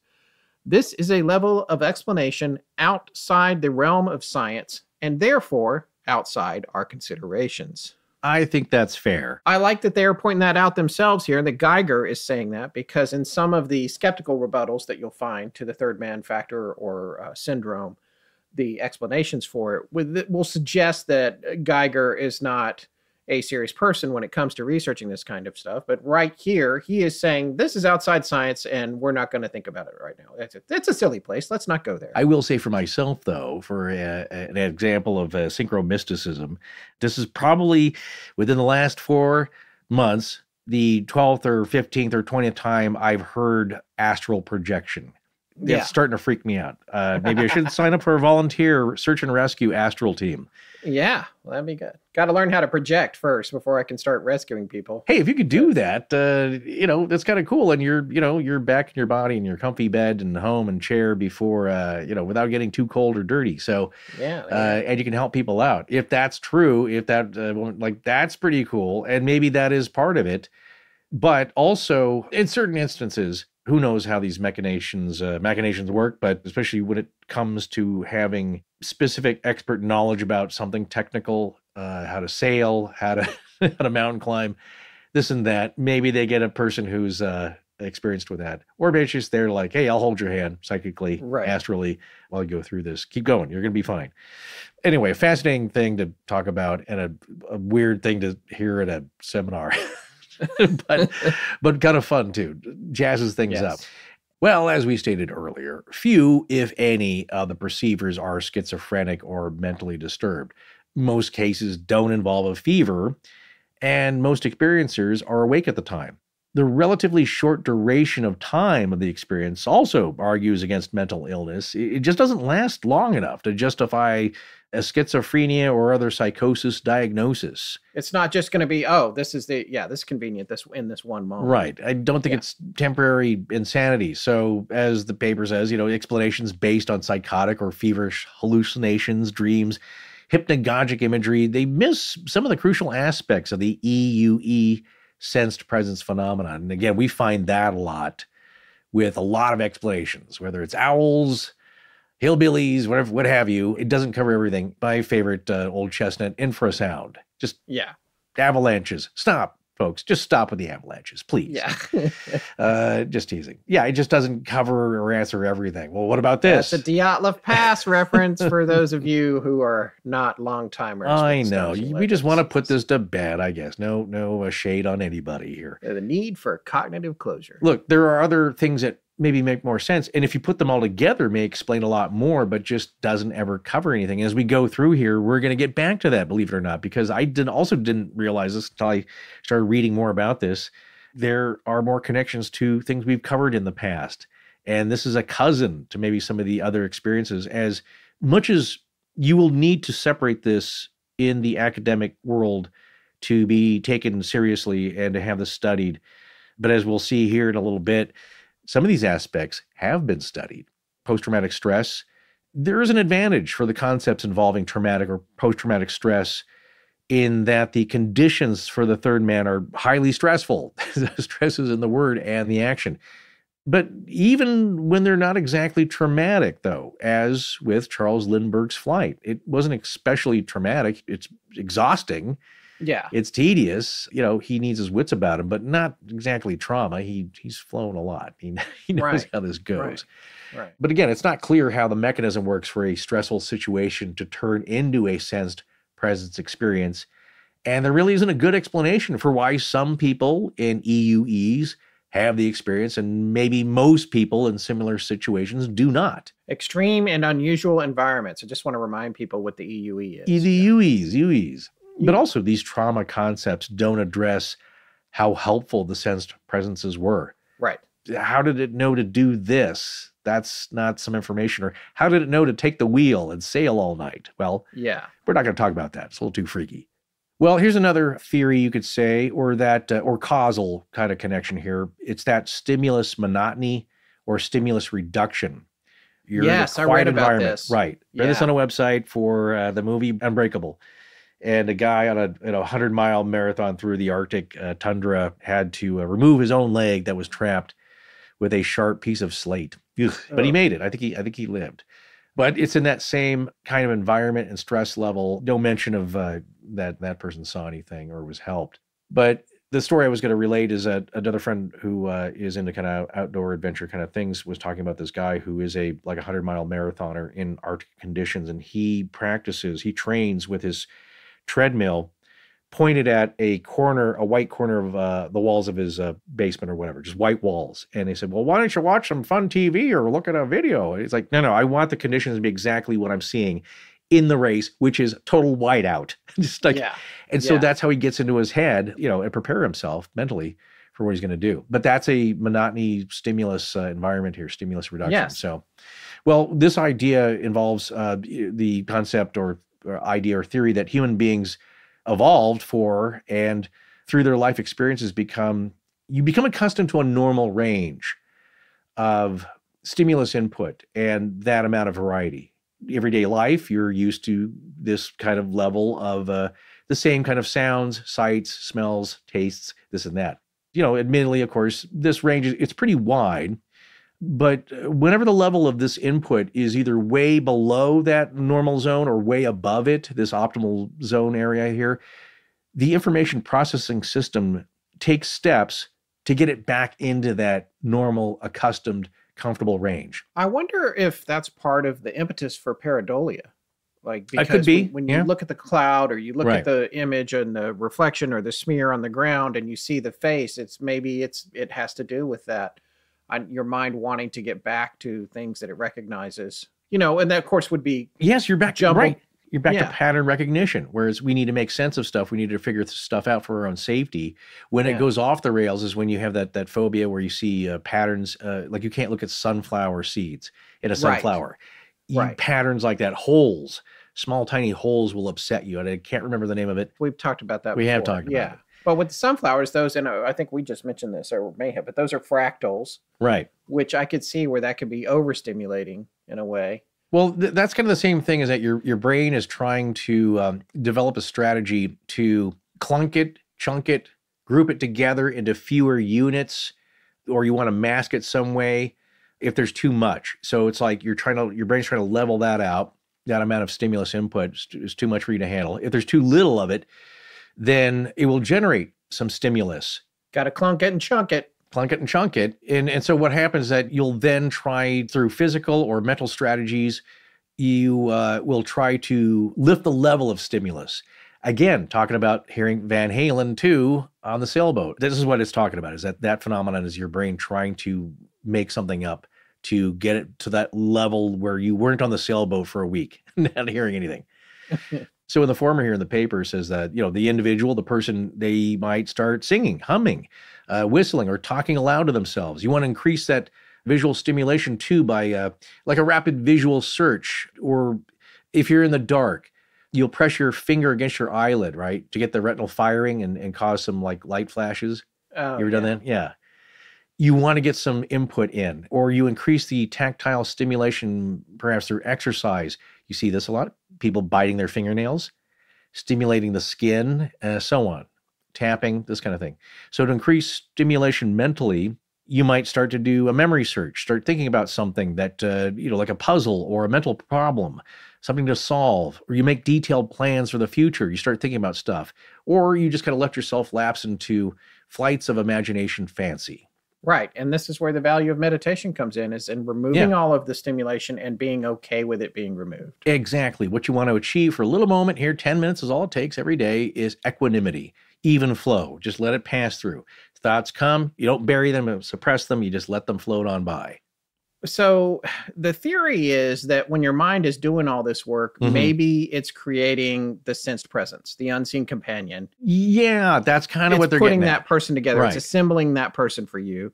But even when the subject is in a greatly restricted environmental stimulation situation, Right. being in a laboratory, Right, right. you can have various degrees of image complexity and different sensory modalities. The images are rarely, if Yeah. ever, experienced as prolonged impressions of someone or something apart from themselves. Actually, they're usually quite fleeting, and Right. the subject realizes that they made the sensations or the images. Okay, you know what's going on here, right? People, before they validate something, they want it to be recreated in the lab. That's what it is. Well, if it's Right, a real thing, right. then like Ghost, you should be able to recreate that sensation in the lab. Well, people have tried. And we've talked about that actually just- a long time working. ago. In a lab, that's the idea. You can manipulate the dials, so to speak, of the complexity of, of the images that you you give to somebody or test them on. You have control over everything, and then you can have different sensory modalities, meaning that you can show them different images in, in certain fashions. It could be, you know, whatever you want to do in your experiment. Right.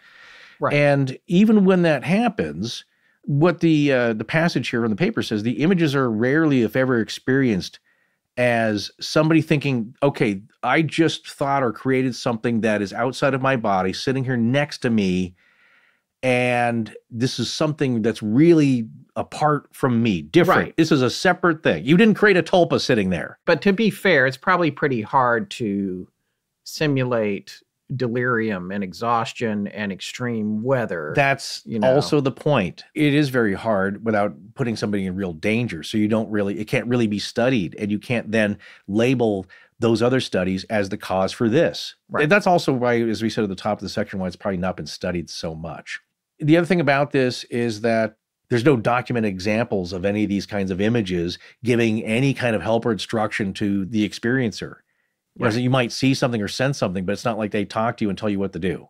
It's kind of like when people have the white light experience, and it's like, well, there you go. That's just triggered by a, a small electrical voltage to the temporal parietal junction. And uh, no, there's another aspect that takes place after the white light.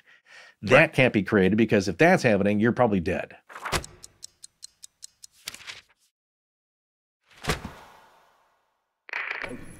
This is Jeff Goff. Thank you for listening to Astonishing Legends. Let's get back to the show.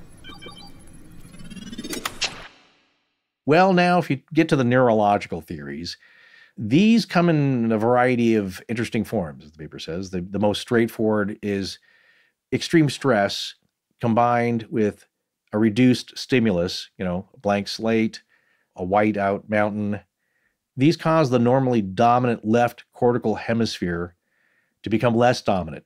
What happens when that when that occurs, it reduces the preponderance of logical linear or reality oriented thinking.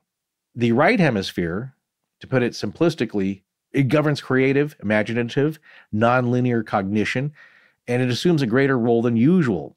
Now that you have a deprivation here, the half of the brain that usually doesn't do this job is stepping in. Right. And what occurs from that, it may include the perception of an imagined other, which enters into your consciousness. So REST, restricted environmental stimulation, much like your deprivation tank kind of thing that we talked about earlier.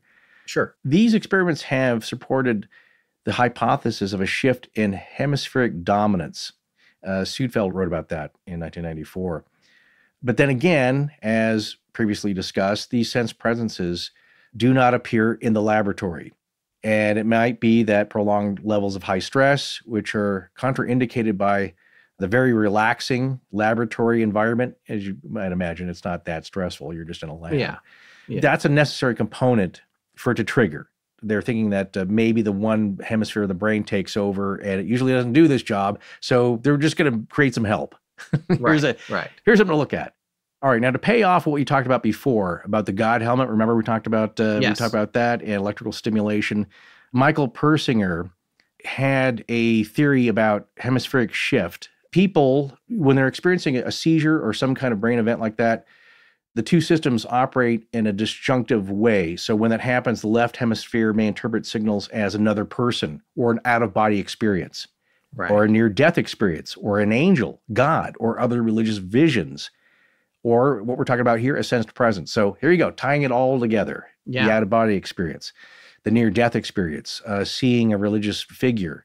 This section goes on to say, you know, that kind of anomalous experience occurs uh, by specific circumstances and the individual's culturally derived and personal belief systems. That's also important. We talked about that with Rich, with the near death, is that people experience something akin to what they would imagine, right, from their culture and, Right. and training and what kind of person they are.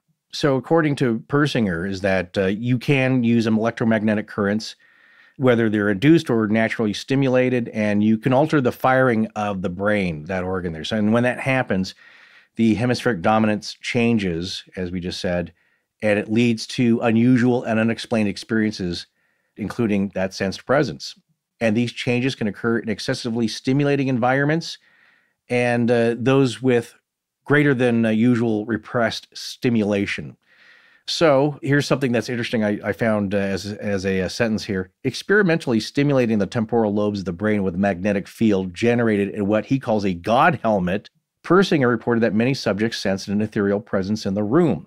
Now we've talked about that many times, and so yeah, you can stimulate it electronically. But Persinger, unlike many theorists in the field here, he acknowledges that uh, every individual is different in their susceptibility to this phenomenon, and that some people it happens with some people and some people not. Now, uh, what else have we talked about? Shadow people. Remember that one? Yeah. Way back when, when we talked about people saying like, well, you know, I take too much Sudafed, or you you uh, jam a probe into your brain, you can create the uh, the shadow person feeling. Well, yes, sometimes when your brain is stimulated with a mild electric current, you can get unusual phenomenon. And remember in that one experiment we talked about in the uh, shadow person episode, a woman was sensing that there was someone behind her interfering with her, lying beneath or on her bed and hugging her. Uh, most importantly, the sensation disappeared when the current was turned off and reappeared when it was turned back on again. Right. You're causing that to happen. It's not happening spontaneously out in nature. This, of course, is evidence of a causal link that can be attained only in a laboratory. It doesn't check off all the boxes of the sensed presence experience as we've been describing, but in some instances, the third man or person did move in conformity with the subject's movements. Right? The woman said, like, it seemed like it was following me, it was mirroring me, it was doing what I was doing. So that can be stimulated, but that's not what we're talking about with these people here. So, a uh, another side theory that came from uh, looking into this with that angle, it does support Persinger's hypotheses the integrity of one's body image, meaning how you visualize yourself or your your sensed being. Remember in the Matrix, he had a residual body image. Yes. If you notice, yeah. your hair is different, your clothes are different.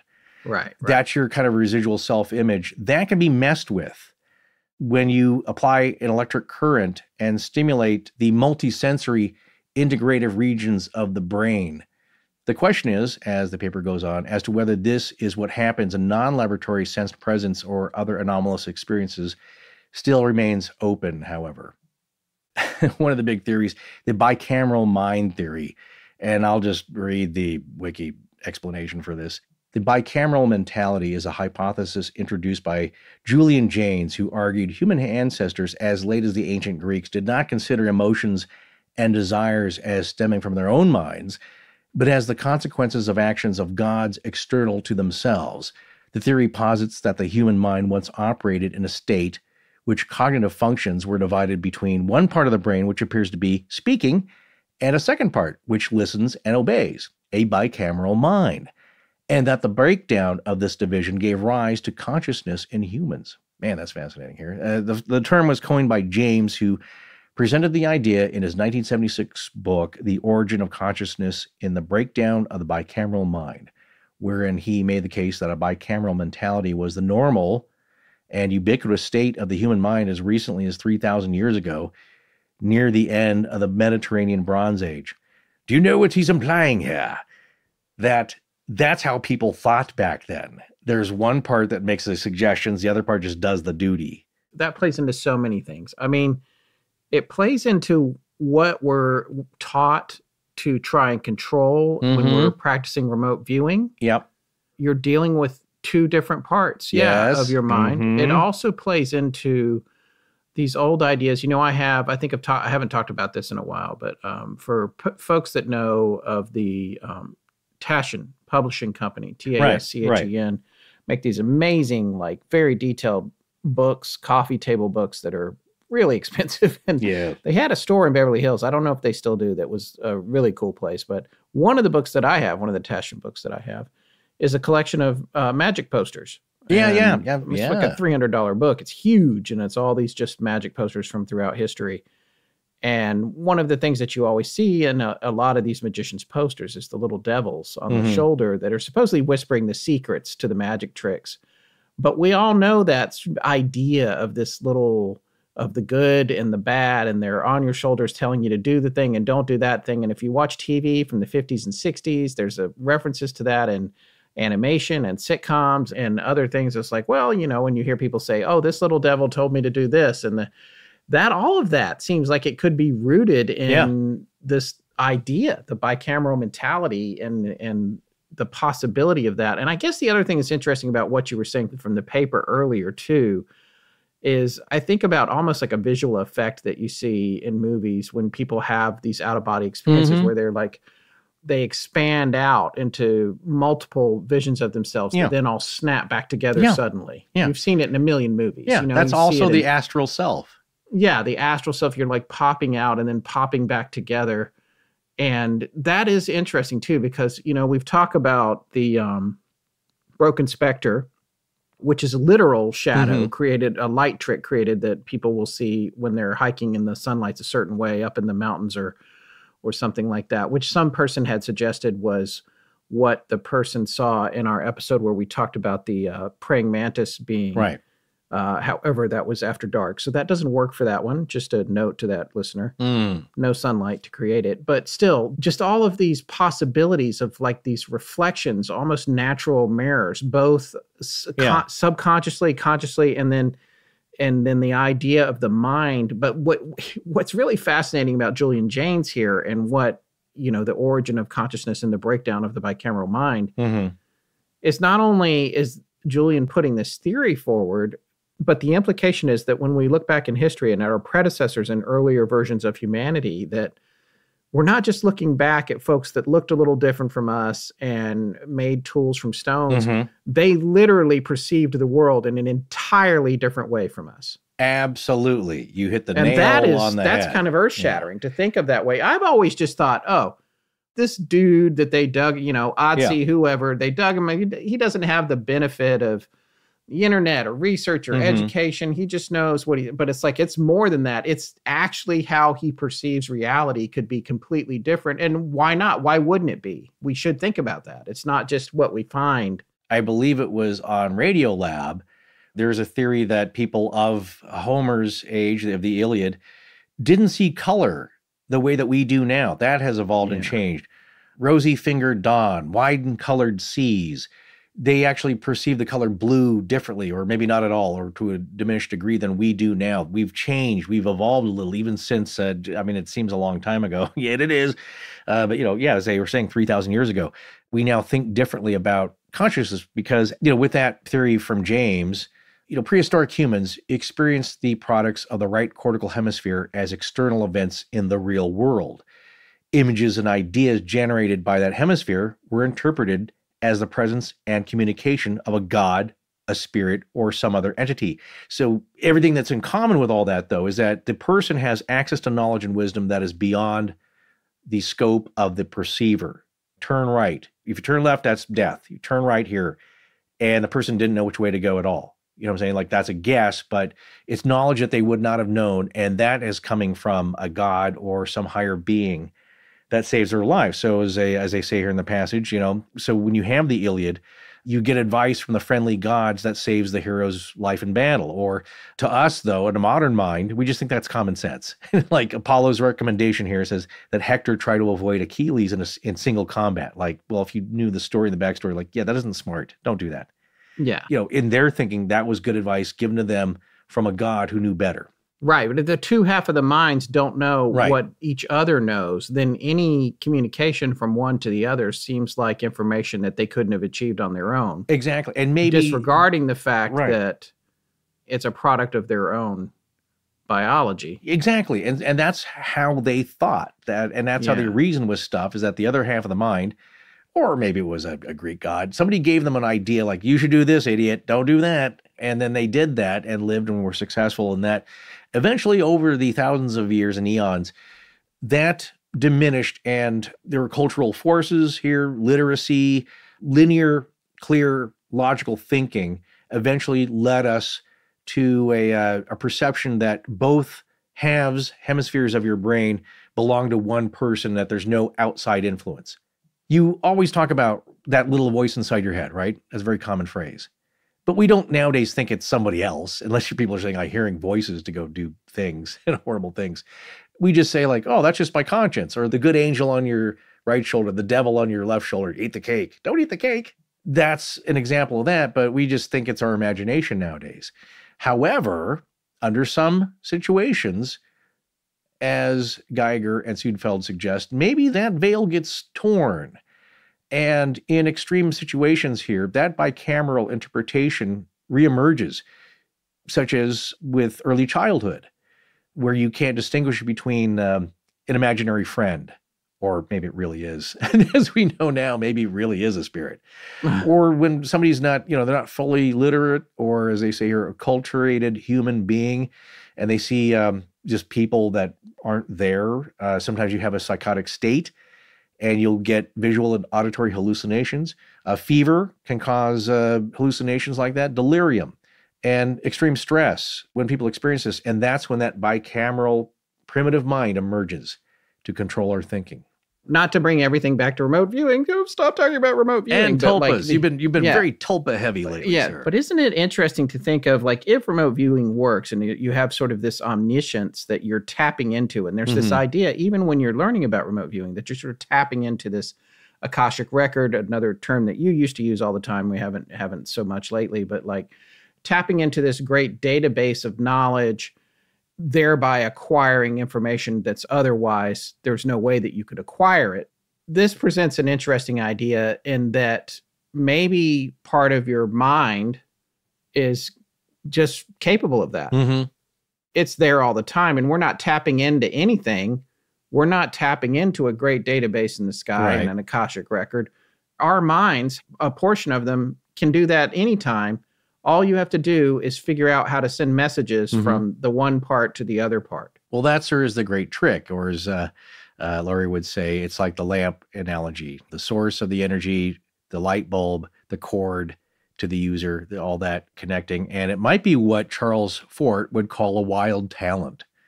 You know, right. that aspect right. of somebody being able to do that. Well, that's what he thought about humans who were psychic or could do strange premonitions and things like that, in that it's an evolutionary advantage. Uh, over the years and eons that just developed. And what you're seeing here is that uh, we may have had more of that as primitive humans when the world was more magical, and we've lost that. But in extreme situations, that again can rear its magnificent, wild, fantastic head. So there's a lot of things then that ultimately this could be. And a lot of folks say, oh, well, these are our guardian angels. This is some being that's come along to help us. It's our departed relatives. It's uh, people that we knew in our past that are coming back to whether it's the woman who's diving and it's her husband who mm-hmm. used to be in charge of the guideline. These people that are coming to help could be these guardian angels, but yeah. maybe that's too simplistic a point of view. Right maybe we're oversimplifying something that's more complicated and in doing so we're masking this uh, amazing talent or mm-hmm. ability that all of us have we just don't know how to tap into it right. on command and i think there's many different versions of it that you could maybe lump into it it's like uh, from jim harold's uh, was it uh, ghostly trucker stories the guy driving a semi lonely uh, midwestern town i think coming down a, a slope and he's starting to nod off, and suddenly this other semi comes roaring by him and cuts him off, and it snaps him like you so and so how whoa what the it brings him to life, and then uh, you know he has to uh, slow down rapidly, and he's taken aback by the image of the semi passing him and cutting him off, and then he comes to this intersection, and the other semi barrels through it, and he kind of comes to a stop and this other truck comes by. He would have been T-boned had right. that truck not passed him and cut him off. Then it dawned on him that that truck looked exactly like his dad, somebody that he drove and who had passed away. And so it was not only just the third man saving him in a drastic action, but a third semi or a second semi or maybe the third semi. Uh, but that happened, and it that happens. I hear stories about that all the time about somebody falling asleep at the wheels and they're hearing a voice like "Wake up." Well, yeah, it, it begs the question of the nature of our reality, right? And I feel like it's hard to look at this series that we've just done and feel like any of us or any of these approaches are actually the right one to figure yeah. out what it is. I feel like maybe we're all barking up the wrong trees. Okay, here. let's go to the other end of the spectrum here, or the uh, continuum, and uh, look at the very mundane. What does our friend Brian Dunning have to say about this from a skeptical viewpoint? Mr. Dunning, who uh, writes Skeptoid, and, and these are mostly blog entries. He has an interesting one on this, and they're always well sourced. He lists multiple sources that he's referring to. He talks about uh, acute stress response mm-hmm. and something that he says that he's mentioned a great deal on Skeptoid as a reference to this. And he doesn't, he mentions, of course, Geiger and Geiger's book as bringing this to the forefront when the book came out in the 2000s and it not really being something that's been studied prior to that. But I think we've shown, and specifically you have with some of the research you did for this episode or these episodes for us, that research has been done. It's not super clinical, but mm-hmm. it's there's there's been attempts to figure out what's going on here And the acute stress response is the fight or flight thing. That's what Dunning leans on, and he, he leans on that a lot mm-hmm. for a lot of things. But when you when you read that particular entry about third man syndrome that he wrote, there's a lot of saying, well, you know, the this is just a phenomenon that happens, and it's very much an uh, a presentation of we don't know what causes this, but it's not guardian angels, it's not whatever. Which leads me to say, well, look, if if we don't know what it is, you can't say what it isn't. Mm. It just that doesn't necessarily work, in my opinion. All due respect to Mr. Dunning, I just mean in general. If mm-hmm. And I find that a lot. It's like, well, we don't know what this, you know, there's, there, we don't have an explanation for this, but it certainly isn't the far out one. And it's like, well, if you don't know what it is, you can't say what it isn't. And there's a lot of language in his analysis of it with phrases like your brain goes into an unusual state. This happens, but without an obvious agreed upon mechanism. Uh, it can produce a sensed presence hallucination, even if we don't know exactly why. That's something Mr. Dunning said. So it's like, oh, so it's producing it and we don't know why. Again, if we don't know what it is, we can't say what it isn't. So I don't think we necessarily know. I'm not singling out Mr. Dunning here. Yeah, yeah actually, yeah. we go to him because he produces some of the best uh, skeptical viewpoints that we can refer to on things. Mm-hmm. There's very few topics that we've tried to cover that he hasn't done some sort of entry on. and by his yeah. own admission, they are very uh, those these entries are brief. Uh, right. They're like blog entries uh, with a, a, quick analysis of these types of mm-hmm. topics. Mm-hmm. But I think that ultimately, for me, this comes back to you know the thing that you sometimes say on the show you know don't tell me what i saw. Mm, don't tell mm. me. And and the other thing that you say a lot is like your experience is for you regardless of what the reasoning is but what behind why it happened. What does it mean to you? Whether it's a misunderstanding or it's a coincidence that the song came on the radio mm-hmm. that was your uh, deceased relative's favorite song and you're coming from their funeral and now you hear it on the radio for no reason and it's an obscure song or whether it's a scientific reason or it's just a coincidence you just happen to look for the pattern mm-hmm. you're looking for the pattern like we were just talking about whatever that is is it possible that those things that seem to have no correlation that you can identify clinically or in a scientific form but that they still mean so much to you is it possible that's just the nature of that presentation and that's the yeah. way it's always going to be? Right.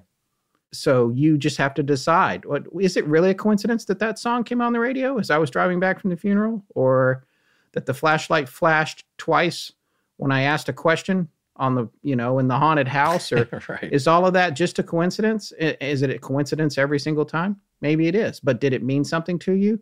Does that redefine what it was, I don't know. But it's hard for me to say to any of these folks that have been in these situations, whether it's the mm-hmm. mountain climbers or uh, the divers or Aron Ralston, you know, Dunning specifically yeah. mentions Ralston in his, in his entry. And he's like, well, he said he saw a little boy who perceived to be his son came to him and in a vision. And, and we read that section newsflash, he had a little boy later, and he was a yeah. blonde little boy. And he's most certainly playing around with this blonde little boy, and one of his arms, the hand is missing. He has a stump, just as a. That's the thing. You can be like, oh, well, that's crazy. The little boy came to him, and it's like, but that yeah. happened later. He had right. that kid, yeah. and it's a blonde kid. You know, and of course, lots of people have blonde children, but well, you still, have to, I mean, it's you, a you have to believe Aron's story. You know what I'm saying? Like, uh, yeah, for yeah. once. Uh, and then the second thing is that yeah. you have to decide is that just a coincidence out of delirium or was it a premonition? And the other thing is that that happens a lot. You hear that story a lot, especially on uh, you know your various paranormal shows where somebody has a vision of a future child. No matter what it is, whatever it was, it saved your life. Well, Forrest, here's something I want to quickly point out about what you just said about Aron Ralston, and it's like you said, if you believe his story about the little boy right. and the and the vision he had, he wrote that book in 2004. His blonde-headed child was born six years later. Mm-hmm. It's not like he made that story up to fit this future. that kid right, did not right. exist by six, seven years because the the book came out in 2004 and leo who he would uh, mm-hmm. his son who he would be referring to the blonde-headed little boy was born in 2010 he just had a son just to make that story work those are the kinds of things those are the points that for me it's like all right well you can say what you want about these other cases All mm-hmm. right, that person was delirious this person was that and these yeah But in that particular story, he's like, wait, you know, this little boy came to me. However, here's another thing, by the way, coming back around to Mr. Dunning that that Dunning mm-hmm. says is like people are cherry picking these stories and lumping them together. Mm-hmm in a way that they don't necessarily line up uh, for common ground. And I agree with that. And that happens a lot with uh, folklore and mythology and mm. urban legends.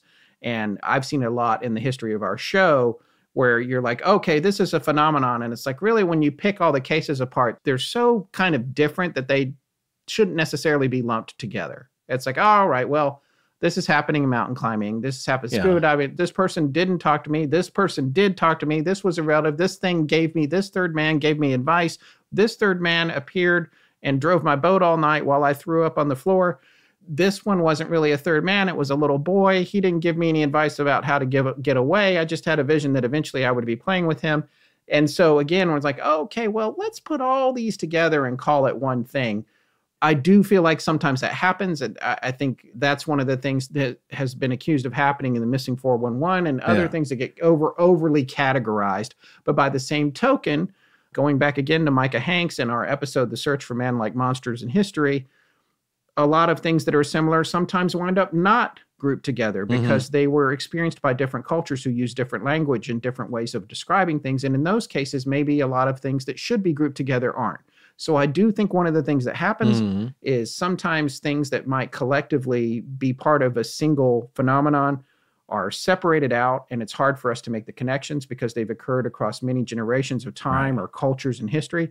And in other cases, I think a lot of things are grouped together that shouldn't necessarily be this one is not like the other one, but we're treating them all like this one particular phenomenon, which we might have done just now a little bit with this series, even though I still think it's a fascinating idea and I'm very much interested in all the experiences that these folks have had. Again, you can look at it on the flip side in that it adds to the mystery, and again, that there is no clinical scientific reasoning that's settled upon by a majority of why or how this happens. I, I think to Mr. Dunning's point, you could, uh, or a physiological standpoint, you could, uh, if it only happened to mountain climbers, you could say, well, there you go. It's the high altitude.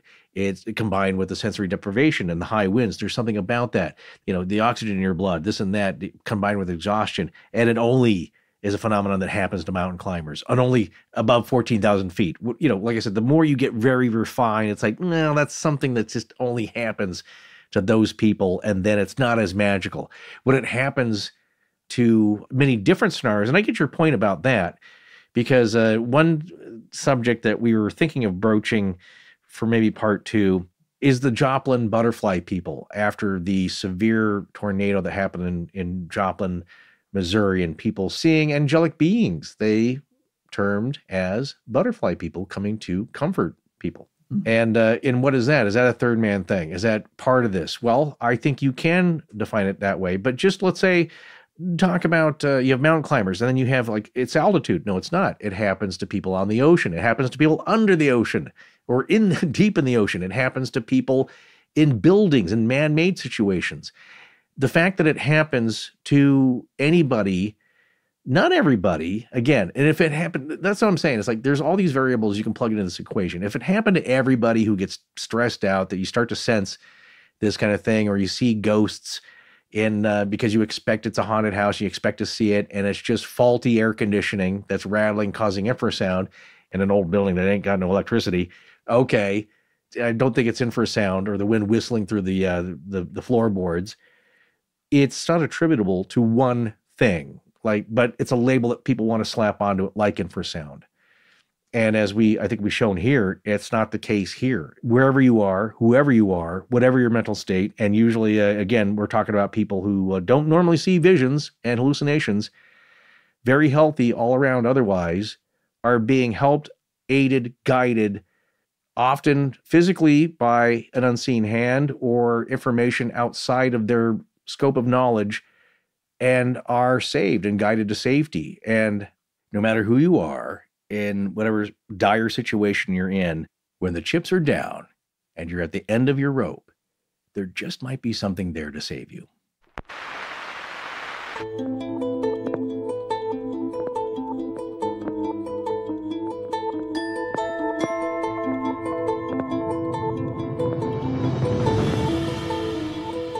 That's going to wrap up episode 280 of Astonishing Legends and conclude our series on the Third Man Syndrome. Reminder it's about to be spring break at Astonishing Legends HQ, so the main show is taking an extra week's hiatus before our next episode.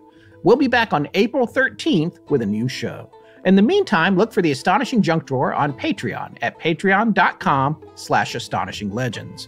Also, find and subscribe to the other shows from the Astonishing Legends Network Scared All the Time, which will be dropping new shows weekly as they do with their seasons, and the premiere of Richard Hatem's Paranormal Bookshelf on John Keel's birthday, March 25th.